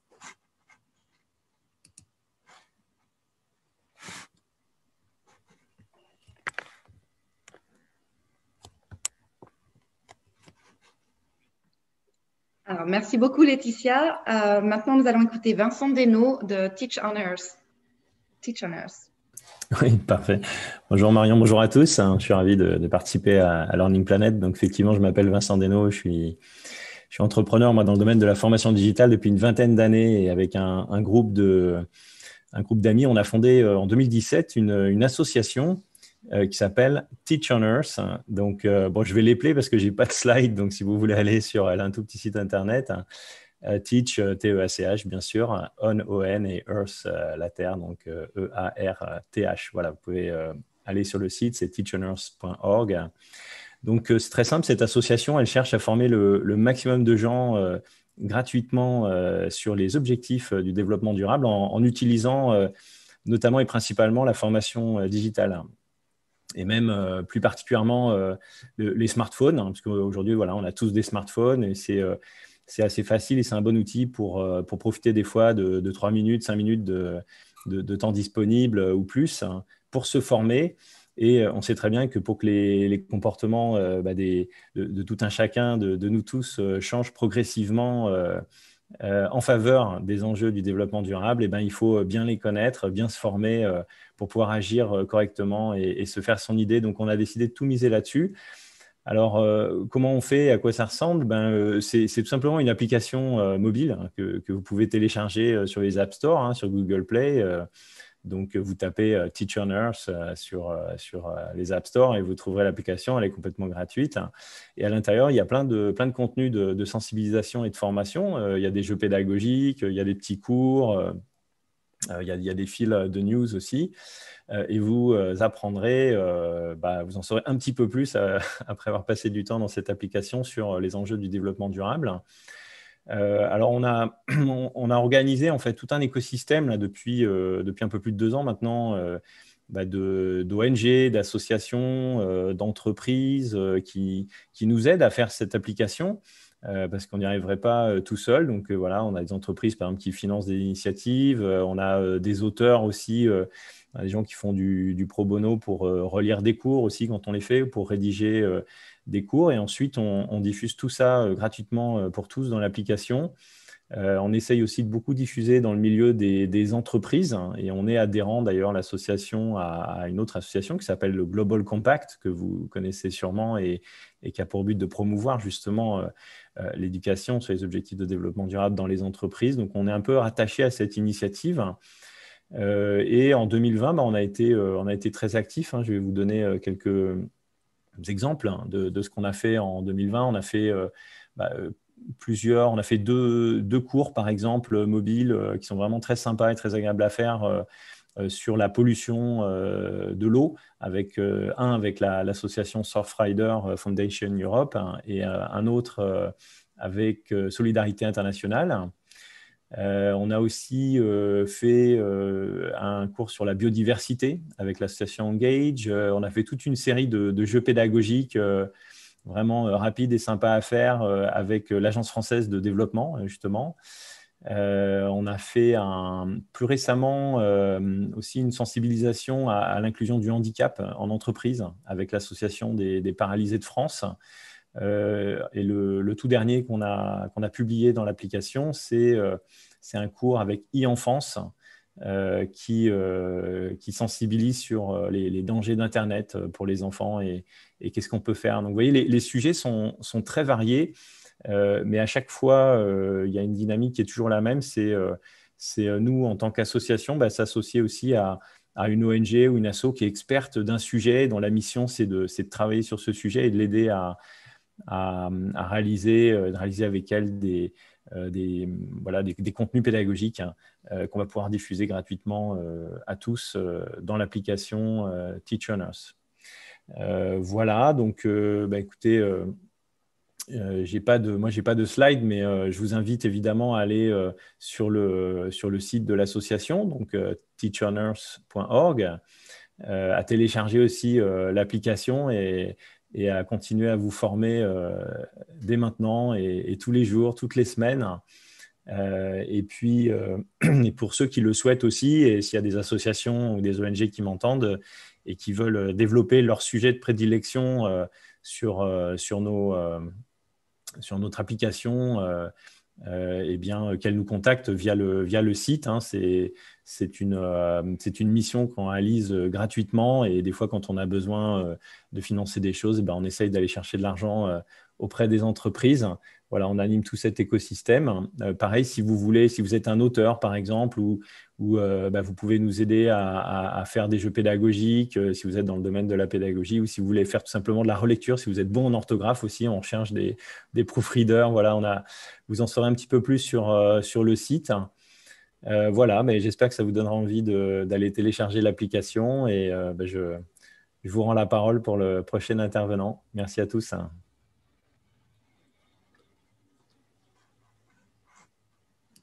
Merci beaucoup, Vincent.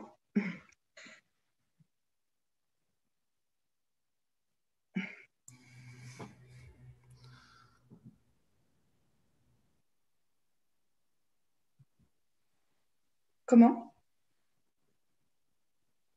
Alors maintenant, nous allons écouter François Lecordi euh, pour euh, le nouveau service de jeu numérique pardon, Mintest à la carte pour la simulation de risques naturels. Oui, bonjour, François Lecordix de l'Institut national de l'information géographique et forestière. Et je vais vous présenter donc le nouveau service de jeu numérique Mindtest à la carte pour la simulation de risques naturels. Euh, est-ce que la vidéo et le, PowerPoint est lancé? D'accord.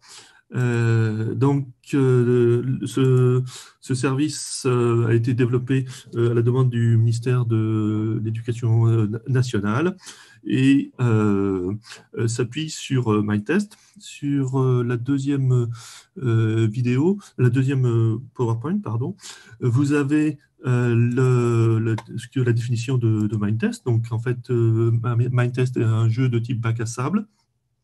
Et c'est un, on va dire, un Lego virtuel. Le jeu le plus connu, c'est Minecraft, qui a une version propriétaire et qui est vendue à plus de 200 millions de licences et qui est connu par tous les enfants, on va dire, de, de 7 ans à, 30 ans.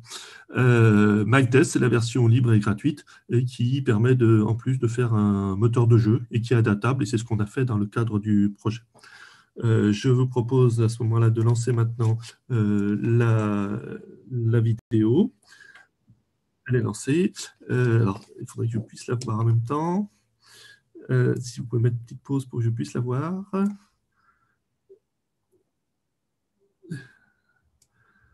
Euh, je...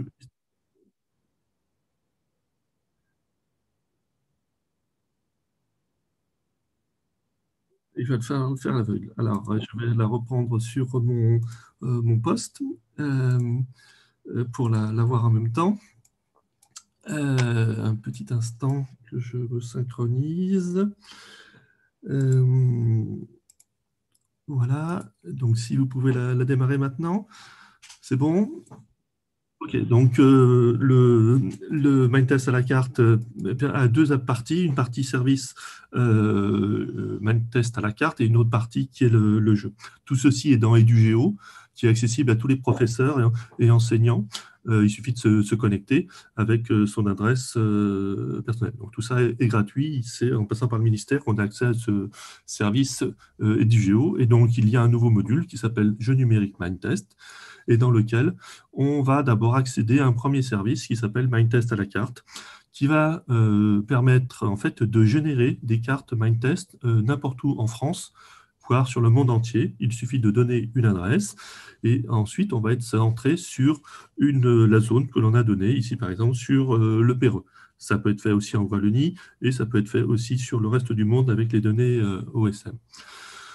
Nous avons après derrière euh, des options avancées qui vont permettre en fait de définir quelles données on utilise, quelle thématique exactement, et surtout l'aspect emprise géographique, l'échelle et l'emprise que l'on va prendre on peut travailler sur une toute petite zone.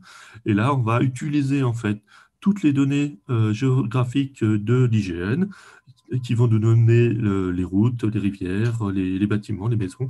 Euh, et on va exporter euh, tout ça en commandant notre carte.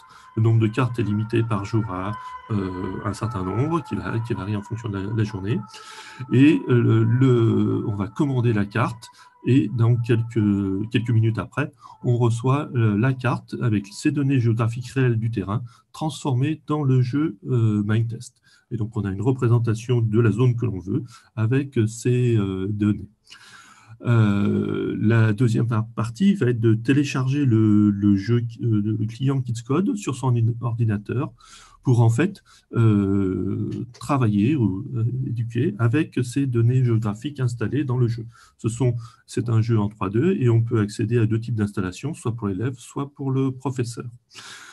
Une fois que l'on a donc installé le, logiciel, on va revenir sur la plateforme pour pouvoir lancer euh, sur la plateforme EduGeo pour lancer le, client Kidscode et on va voir qu'on va pouvoir récupérer en fait la carte que l'on a euh, commandée. On a donc le, lancement du jeu et on va obtenir en fait euh, la liste des d'abord la liste des cartes qui ont été commandées ou celles qui sont en cours de préparation, comme la carte sur le Péreux sur Marne. Donc, on peut actualiser l'avancement et à un moment donné, la carte va être prête et on va pouvoir la télécharger dans le, jeu. Donc, un jeu de 3D. Et on va pouvoir comment, continuer l'enseignement sur cette carte. Et je n'ai pas précisé, on peut le faire à seul ou à plusieurs dans le jeu. Et le professeur va pouvoir suivre en fait le travail exécuté par les élèves. Une fois que la carte est installée, on la sélectionne et on va donc euh, euh, arriver sur l'interface qui nous donne trois options. On a à droite la carte elle-même, euh, l'emprise qui a été prise, et on va pouvoir jouer en 2D ou en 3D. Le principe du jeu MyTest, c'est plutôt en 3D, mais on a ajouté une option pour la visualisation en 2D que je verrai à la fin. On bascule donc dans le jeu qui est très similaire à celui de, Minecraft, donc des Lego, un Lego virtuel, Lego numérique, où on a des, cubes qui vont euh, représenter les différentes données géographiques. Dans ce client, on a euh, des explications qui vont nous guider pour le, jeu, comment euh, activer les différentes opérations. Et puis, on voit en fond la, la carte que l'on a obtenue, donc l'ensemble de l'emprise de la carte des données géographiques sur le Pérou. Dans cette carte, bien évidemment, vous avez à droite euh, la possibilité de vous orienter sur cette carte dans laquelle on va se balader euh, par la suite. Et puis, vous avez aussi un ajout qui a été fait, c'est en haut à droite, une petite extrait qui permet soit d'avoir la visualisation avec les données, les données de MindTest, soit la carte IGN, soit la photo aérienne IGN. Et donc, on va pouvoir aussi utiliser cet outil pour euh, s'orienter, pour euh, enseigner sur l'orientation euh, dans l'espace 3D ou dans l'espace 2D. Et là, on va faire le lien aussi avec les, cartes papier par ce biais. On peut donc se déplacer sur la, carte. Il y a des éléments sur l'orientation et un certain nombre de, de c'est des touches clavier qui permettent de se déplacer facilement. Et on, là, on va aller voir directement, au-delà de la possibilité de reconstruire des choses, les possibilités de simulation. Il suffit donc les différentes simulations qu'on a selon les inondations, coulées de boue, euh, avalanches, éruptions volcaniques ou tornades. Et le principe, c'est de d'abord sélectionner l'endroit où on va faire augmenter la hauteur d'eau. Donc on va pouvoir simuler une montée des eaux sur cette zone du, euh, Péreux et voir immédiatement les effets de la montée des eaux sur le, la zone. Et donc ceci est applicable n'importe où en France, il suffit de commander la carte. Et immédiatement, à partir de montée de 2, 4, 6 mètres, on choisit la valeur en fait, on va pouvoir après se balader et pouvoir identifier quels sont les endroits qui vont être sensibles aux, euh, ces risques d'inondation et comprendre en fait, un peu le, phénomène et voir quelles sont les zones euh, en danger. On peut aller à des valeurs encore plus importantes et on va à nouveau voir progresser en 3D la montée des eaux dans cette, euh, carte. On peut bien évidemment, dans l'autre sens, refaire redescendre les eaux et voir l'eau se retirer, sauf dans les zones en cuvette où l'eau va, va rester un certain temps.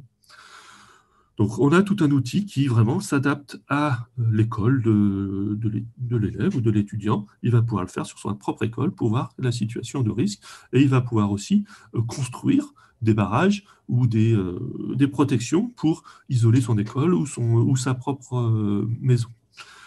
Euh, L'autre possibilité que l'on a après, c'est de passer en, 2, en 2D, comme je l'avais évoqué tout à l'heure, avec cet autre outil qui existe, qui a été ajouté, de cartographier en 2D. Lorsqu'on le sélectionne en même temps que le qu'on joue en 3D, on va basculer sur un navigateur, euh, un affichage dans un navigateur sur lequel les élèves vont pouvoir euh, travailler pour euh, donner de l'information en 2D, représenter des informations qu'il a traitées. Dans ce, dans ce navigateur, on a à nouveau la possibilité en fait de faire apparaître la carte papier en superposition ou la, la photo aérienne de, le, de, la zone qui ont été livrées en même temps que la, la carte commandée. Et donc, on va euh, basculer différentes représentations au choix de l'élève. Mais en plus, les simulations que l'on a fait dans la partie 3D vont être répercutées dans, cette, dans ce navigateur. Et on va voir apparaître progressivement, en fait, la simulation d'inondation que l'on a euh, exécutée dans le jeu 3D, et ça évolue en même temps que l'on fait évoluer dans le jeu 3D, ça bascule sur la carte en 2D, et on peut voir à ce moment-là les simulations euh, d'inondation, et on peut les mettre sur d'autres fonds, que ce soit un fond carto ou photo aérienne. Ceci permet en particulier de, comparer les résultats que l'on obtient euh, avec les données que l'on a sur le géoportail, par, exemple sur la crue de 1910. On s'aperçoit que l'on obtient ainsi des résultats assez similaires euh, avec ces simulations réalisées dans le, euh, dans le jeu. Donc ici, la superposition avec la photo et la superposition pardon, avec la carte.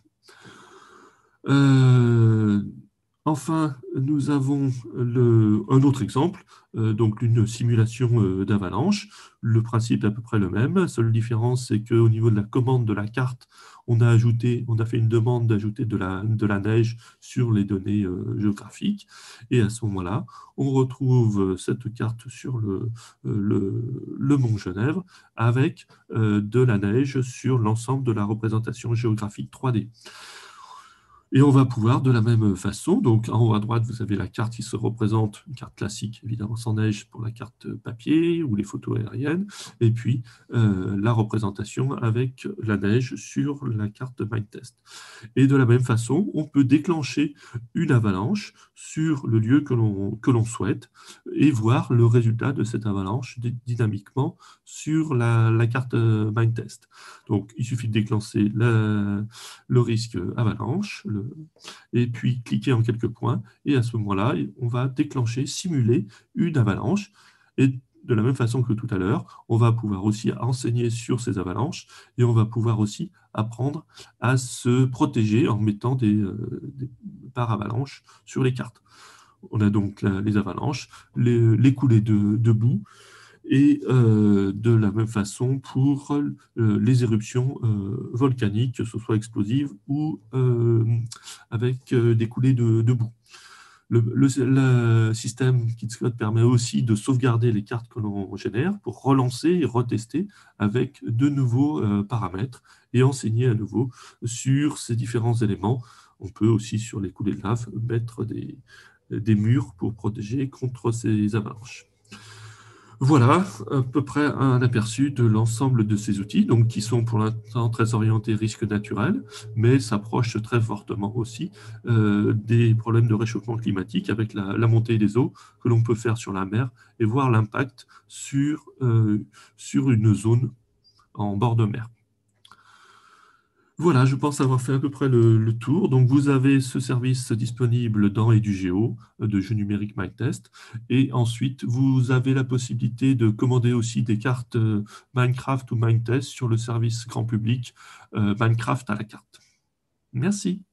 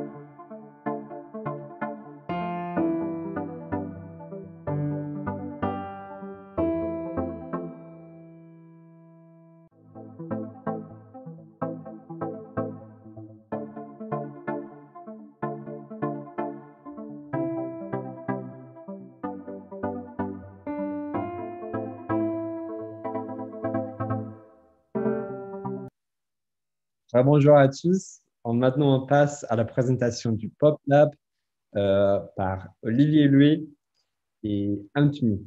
Donc, c'est à vous. Merci. Merci Ed. Euh, du coup, on est là pour présenter PopLab. PopLab, qu'est-ce que c'est? C'est euh, l'application l'application en ligne qui permet de créer des cours.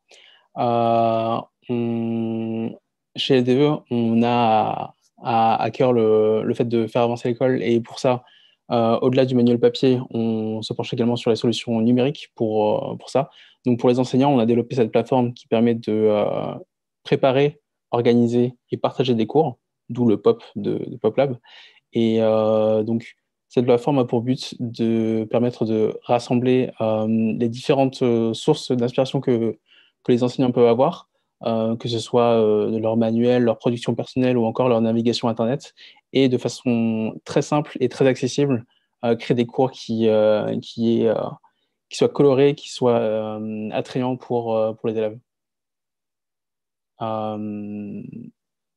Olivier, je ne sais pas si tu veux prendre la, suite à ce sujet. Oui, excusez-moi. oui, ben on peut peut-être. On, avait, on avait envoyé une petite vidéo. Est-ce qu'il est, est possible de la, de la passer? C'est une, toute petite vidéo de présentation hein, de, de, Lucie est une enseignante passionnée, comme vous. Ça donne un petit peu le, si elle a choisi ce métier, c'est d'abord pour le plaisir de transmettre. Ouais, je sais ce que vous vous dites. Difficile de rivaliser avec la concurrence, n'est-ce pas? Vous avez beau passer des heures à préparer vos cours, à essayer d'organiser au mieux vos séquences, à la fin, ça ne donne pas toujours envie de se faire un plateau télé pour contempler le résultat. Mais alors, comment réussir à captiver vos élèves tout en vous facilitant la vie Grâce au tout nouvel outil PopLab. Et cela en quelques clics seulement. Je vous montre. Pour préparer vos cours, vous pouvez utiliser notre moteur de recherche et sélectionner votre contenu parmi 100 000 ressources, adaptées à vos élèves et validées par vos pairs. Vous pouvez également envoyer dans PopLab tout le fruit de votre travail, recherches externes, extraits de manuels scolaires et même vos propres créations. Et vous retrouvez tout ça dans votre labo. Ne vous y trompez pas, le labo est parfait pour toutes les disciplines, qu'elles soient scientifiques, littéraires ou de sciences humaines. Vous n'avez plus qu'à organiser votre contenu pour construire la séquence de cours idéale. Ça y est, votre cours est prêt. Partagez-le simplement avec vos élèves. Et ce n'est pas tout.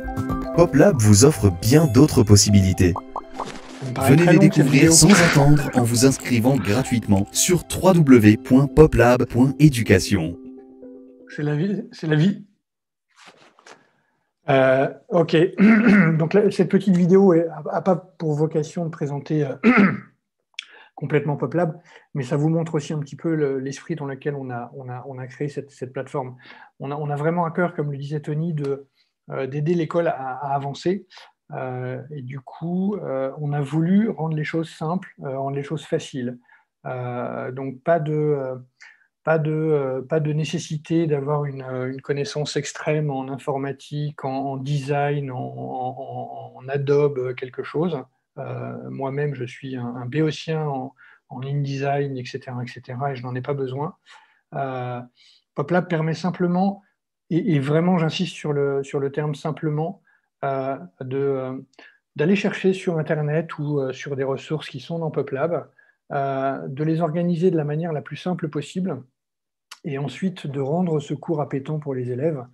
L'objectif, c'est de présenter quelque chose qui soit, qui est une, j'utilise le, terme design, mais qui est, qui est un, look and feel, même si on n'aime pas les anglicismes, mais qui soit, qui soit attrayant pour les élèves, parce qu'on s'est aperçu aussi euh, en interviewant un certain nombre d'enseignants pour, euh, préparer cette plateforme, euh, que, l'engagement des élèves, il venait de la qualité du cours, et là, bah, les enseignants, bravo parce que, vous êtes vraiment présents, mais aussi peut-être de, la, de la qualité d'image, de la qualité de rendu qu'on peut avoir. et PopLab permet très simplement de faire de faire des changements de, façon de présenter, de faire des changements de, euh, euh, euh, d'implémenter une vidéo dans une présentation sans perdre le fil d'un cours ou d'une séquence de cours. Donc c'est vraiment cette, cette, simplicité qui a prévalu au développement de PopLab. je parle d'enseignants parce que moi j'ai participé aux, premiers ateliers de, quand on a pensé PopLab, quand LDE a pensé PopLab. Et on a vraiment fait ça avec des enseignants et pour des enseignants. C'est-à-dire, on ne se fait pas plaisir, on ne fait pas quelque chose de beau parce que c'est beau, on fait quelque chose de beau parce que ça sert à quelque chose. Euh, et on a demandé, bien entendu, à, des enseignants, des enseignants de français, des enseignants d'histoire, des enseignants de, de, matières scientifiques, euh, on leur a vraiment demandé à tous, euh, de collège et de lycée, on leur a vraiment demandé à tous, vous avez besoin de quoi? Et à chaque fois, ça a été, on a besoin de, quelque chose de simple, quelque chose qui nous permette de pas perdre de temps. Voilà. donc on a, on a pensé PopLab comme, je vais utiliser un petit, une image, mais comme un couteau suisse numérique. C'est-à-dire que euh, vous avez tout à dispo. Euh, quand vous avez la vis que vous devez dévisser, bah, vous avez le petit truc qui va, qui va servir à dévisser la vis. Euh, vous avez le couteau, vous avez la lime, vous avez la scie, vous avez tout ce qu'il faut. donc c'est vraiment, c'est vraiment pour ça et, avec les enseignants qu'on a développé, qu'on a développé PopLab. Et alors, pardon, excusez-moi, j'ai un peu d'un voile sur la, sur la voix. On a vraiment à cœur de, parce qu'on a développé une grosse communauté euh, d'utilisateurs PopLam et c'est aussi, aussi quelque chose auquel on tient beaucoup. C'est-à-dire qu'on ne va pas faire quelque chose, on ne va pas le lancer sur le marché et, euh, OK, on a, fini on a fini notre boulot. En fait, c'est là que le boulot commence. Et on est très, très, très, très friand, très curieux de tous les retours que vous pouvez avoir euh, bah, sur, sur PopLab, parce que PopLab, c'est quelque chose qui va évoluer, c'est quelque chose qui a déjà beaucoup évolué. Et ça, ça évoluera par rapport aux besoins qui sont exprimés, qui seront exprimés. Euh, et on, voilà, on a à cœur de continuer à le développer avec des enseignants et pour des enseignants. Euh, donc voilà, on est vraiment, euh, on, souhaite travailler vraiment main dans la main et, on espère que, bah, on espère que votre qu'on a bien fait notre travail et que le besoin va rencontrer, enfin que PopLab va rencontrer le besoin. et on en sera très heureux d'avoir vos, retours, quels qu'ils soient. Positifs ou négatifs, on prend tout. Euh, euh, moi, j'ai coutume de dire que quand on se plante, on pousse. Donc euh, voilà, il n'y a, pas de, a, mauvaise critique. Il n'y a que des critiques constructives. Et, c'est vraiment l'état d'esprit dans lequel on est ici pour la librairie LDE. Voilà. Alors, je ne sais pas si j'ai dépassé, je ne sais pas si je peux prendre des questions ou pas, je ne sais pas si on peut échanger. voilà. Je, pense que là, je pense qu'on arrive à, à, la, fin de la présentation de votre 10 minutes. Euh, merci beaucoup. On peut laisser le lien dans, le, dans la chat. Tout à fait. Ouais, tout à fait. Ouais, ouais. Et on invite vraiment euh, ouais, toutes les participants de regarder euh, votre site web. C'est vraiment fantastique. Vous, vous, le faites? Vous le mettez le lien? C'est vous qui le faites? Ok. ça. En fait, je viens de le faire. Donc, c'est tout. Parfait. Super. Alors, on, va passer maintenant à Kokoro Lingua, qui sera présenté par la fondatrice Nathalie Lettelin. Donc, c'est à vous, Nathalie. Vous, êtes, vous avez coupé votre son, par contre. Voilà. voilà. Bonjour.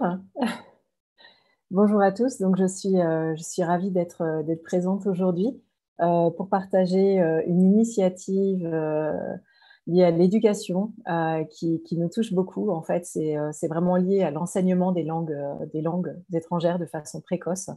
ce que je vais faire, c'est que je vais, partager, je vais partager avec vous mon écran pour, pouvoir vous, partager la présentation directement en quelques mots.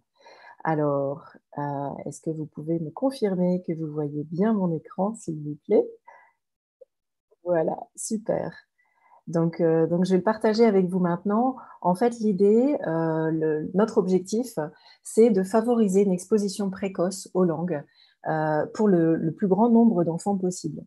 Donc, concrètement, ce qu'on propose, c'est une solution qui soit à la fois simple, intuitive et émotionnelle pour rendre cette exposition précoce aux langues étrangères accessible au plus grand nombre d'enfants possible. Parce qu'aujourd'hui, on sait à quel point c'est essentiel, mais on sait aussi que c'est difficile concrètement de le faire.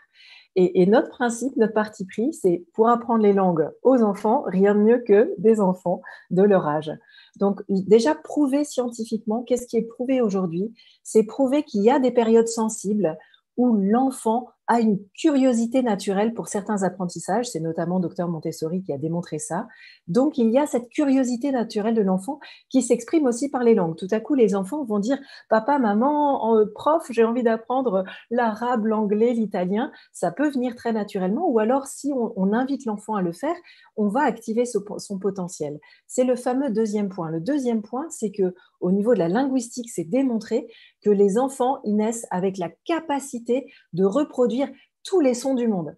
C'est-à-dire que où qu'on soit dans le monde, on va apprendre la langue, la langue qui nous entoure. Quelle que soit la langue qui nous entoure, l'enfant va être à même de l'apprendre et de la reproduire. Donc l'enfant est né avec ce potentiel extraordinaire. Et l'émotion, ça a été démontré par le neurosciences et notamment euh, Stanislas Dehaene du, euh, euh, du comité scientifique de l'éducation nationale, l'émotion et l'intuition sont des facteurs puissants de mémorisation. Donc si on expose l'enfant de façon précoce et naturelle, il va assimiler de façon très puissante. Et finalement, le dernier point qui a été démontré par une étude à l'Université de Montréal, c'est que apprendre une langue étrangère de façon précoce permet à l'enfant de développer son empathie et son ouverture vers le monde. Et c'est vraiment ce dont on a besoin aujourd'hui. Et notre approche, elle est vraiment basée sur j'apprends une langue, mais pourquoi? Pas seulement pour apprendre la langue, mais pour me, connecter au reste du monde. Donc, euh, cette exposition précoce aux langues, c'est pas une option. C'est une nécessité aujourd'hui euh, pour les enfants, les enfants de, la génération actuelle. Donc, concrètement, c'est une nécessité, mais le constat en France et, dans beaucoup de pays avec lesquels on travaille maintenant, c'est que c'est pas facile. C'est pas facile parce qu'on voit que c'est une nécessité, mais il y a beaucoup d'adultes qui ne maîtrisent pas l'anglais. Donc, du coup, c'est difficile quand on ne le maîtrise pas de pouvoir l'enseigner soi-même. On sait que la majorité des postes de cadres exigent l'anglais courant. On sait que les parents dépensent aussi beaucoup d'argent tous les ans pour accompagner cet apprentissage de l'anglais. On sait que l'anglais, notamment en France, il est recommandé à partir de 3 ans, obligatoire à partir de 6 ans, mais c'est compliqué concrètement parce que les enseignantes n'ont pas toute euh, la fluidité, la confiance en soi pour pouvoir parler anglais euh, de façon naturelle, n'ont pas toute la formation. Malgré tout l'engagement et le cœur qu'elles y mettent, c'est souvent compliqué. Euh, donc on sait que c'est indispensable, mais c'est difficile à mettre en œuvre.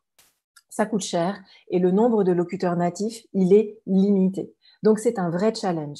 Donc la solution qu'on a développée, celle qu'on propose aujourd'hui, c'est, comme je vous le disais au début, My teacher is six years old. Alors moi j'ai un accent terrible puisque j'ai pas appris euh, toute jeune à leur âge, mais euh, le principe c'est vraiment mon prof d'anglais à 6 ans et j'apprends avec le cœur et avec des copains qui ont mon âge par des vidéos hebdomadaires en ligne. Alors, pour aller assez rapidement, après, faites-moi un petit signe si je prends trop de temps. Euh, le principe, c'est de mettre en place les langues étrangères comme un rituel au quotidien. On apprend les langues de façon quotidienne, tous les jours. Tous les jours 10 minutes. De la même façon, ça a été démontré. 45 minutes par semaine, c'est bien gentil, mais l'idéal, le comité scientifique l'a démontré également, l'idéal, c'est tous les jours, tous les jours 10 minutes.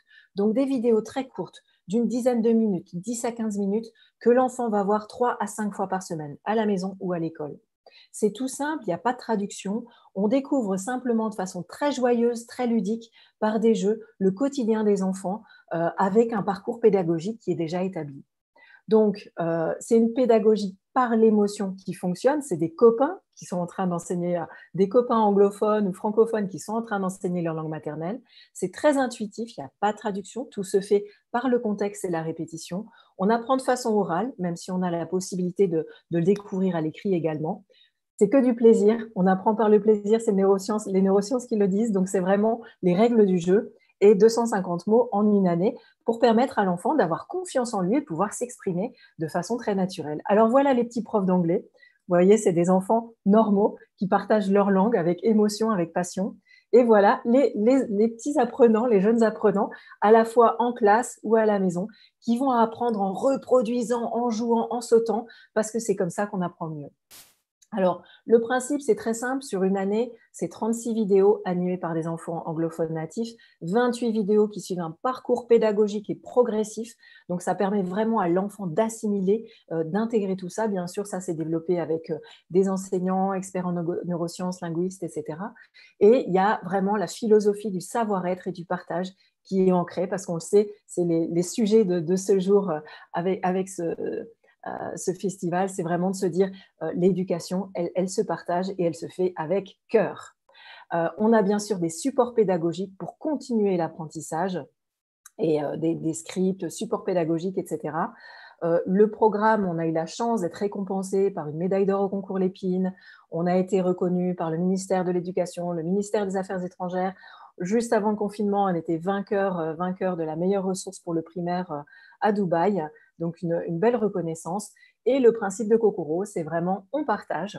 Donc, on partage nos langues entre enfants. Ça fonctionne sous forme de d'abonnement euh, payant pour les personnes qui ont les moyens. Chacun va participer, mais on a systématiquement un abonnement gratuit qu'on libère pour une famille ou une école qui n'a pas les moyens. Et l'objectif, c'est que tous les enfants puissent avoir accès aux langues. Donc, euh, après, voilà, le petit point, c'est qu'on est en train de se développer. On est présent aujourd'hui en France, euh, en France, en Italie, au Japon. on est en train de se développer dans d'autres pays aussi. notre objectif, c'est l'accès aux langues pour tous les enfants à la fois par ce mode de partage et aussi par des partenariats qu'on met en place. Donc, euh, voilà, s'il reste quelques secondes, ce serait volontiers pour, euh, partager euh, la petite vidéo qui présente en 45 secondes ce qu'est Kokoro.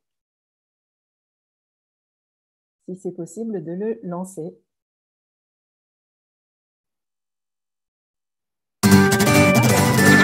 I'm Estelle. My name is Emily. I'm your English teacher. Listen. Four, five, six, seven, eight, nine, ten.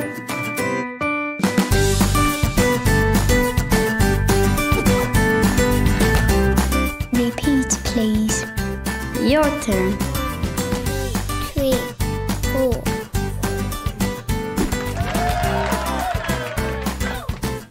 C'est une façon d'apprendre l'anglais en s'amusant. De recopier les enfants qui parlent anglais. Et puis tu peux apprendre à ton rythme. Come and join us!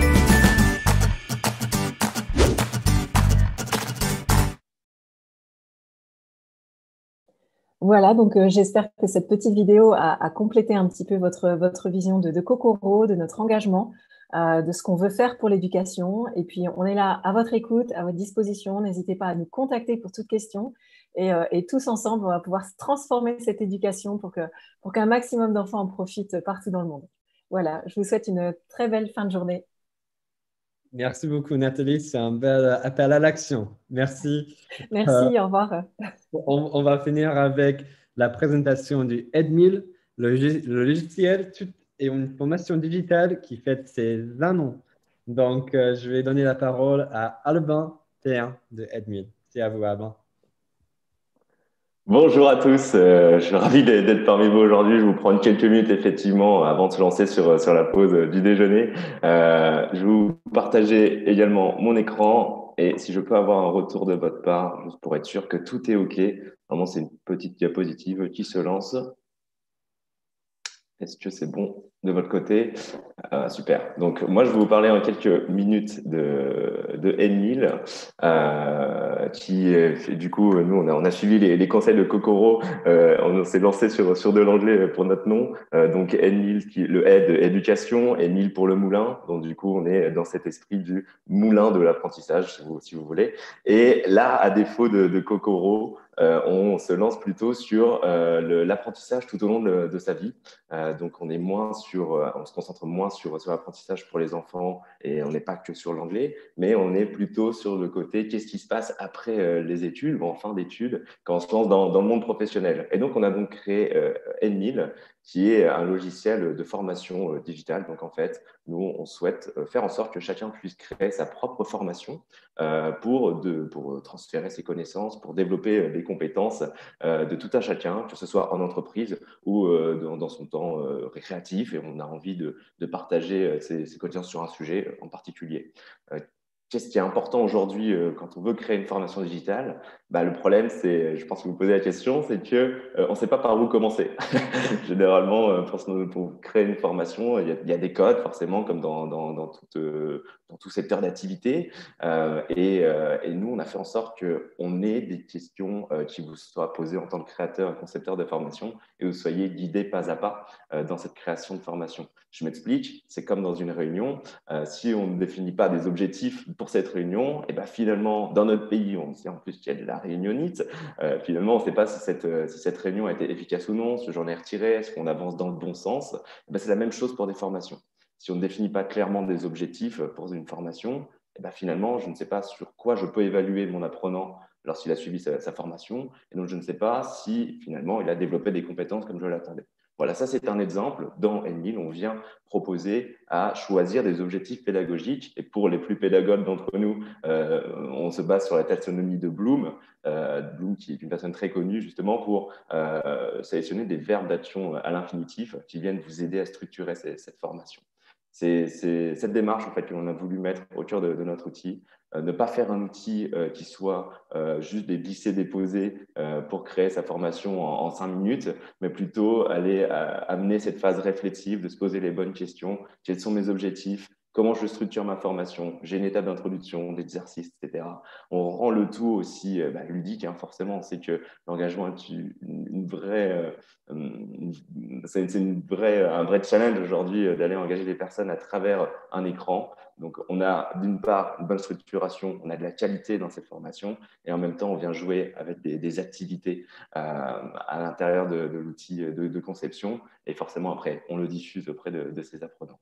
Je voulais vous partager aussi le fait que, bah, en fait, nous, un an, et je trouvais que c'était plutôt sympa parce qu'on a lancé euh, également euh, bah, donc, le, cet outil le 24 janvier l'année dernière euh, pendant ces journées internationales. Donc, ça me fait très plaisir de pouvoir me dire un an après, on est, on est toujours là aussi et, du coup, on, peut donner des, des retours d'expérience. On s'adresse, comme je disais, beaucoup plus aujourd'hui à des formateurs euh, plutôt dans, dans, le cadre professionnel qu'il y a des étudiants. Euh, ça, ça devrait venir aussi de plus en plus parce que bah forcément, avec le contexte qu'on connaît, hein, on va devoir euh, repenser l'école aussi euh, pour, pour, pas mal d'entre nous. Donc, c'est leur donner aussi la main pour qu'ils puissent créer eux-mêmes leur contenu, pour qu'ils puissent faire monter en compétence leur, leurs équipes, leurs camarades aussi. et ça, c'est notre projet qui devrait arriver prochainement. J'aimerais vous lancer une vidéo qui retrace nos un an, qui est sur la diapositive juste après. J'espère que le son se lance. C'est surtout ça ma, ma, ma vraie question. J'espère qu'on entend quelque chose.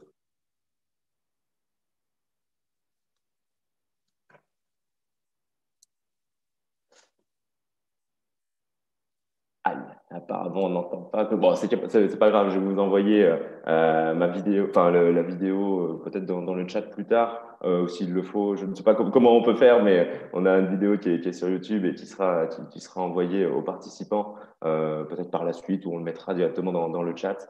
Euh, l'idée, c'est que on, on, voilà, je vous partager juste notre émotion d'avoir fêté nous un an.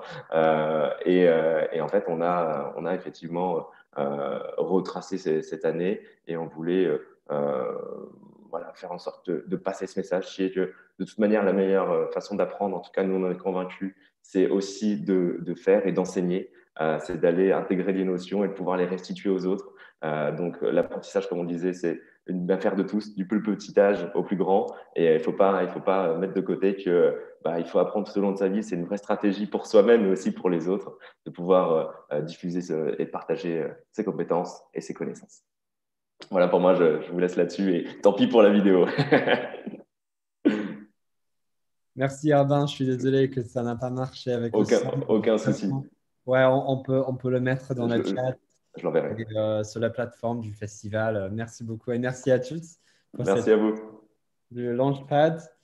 Euh, et je vous souhaite une belle fin du festival cet après-midi.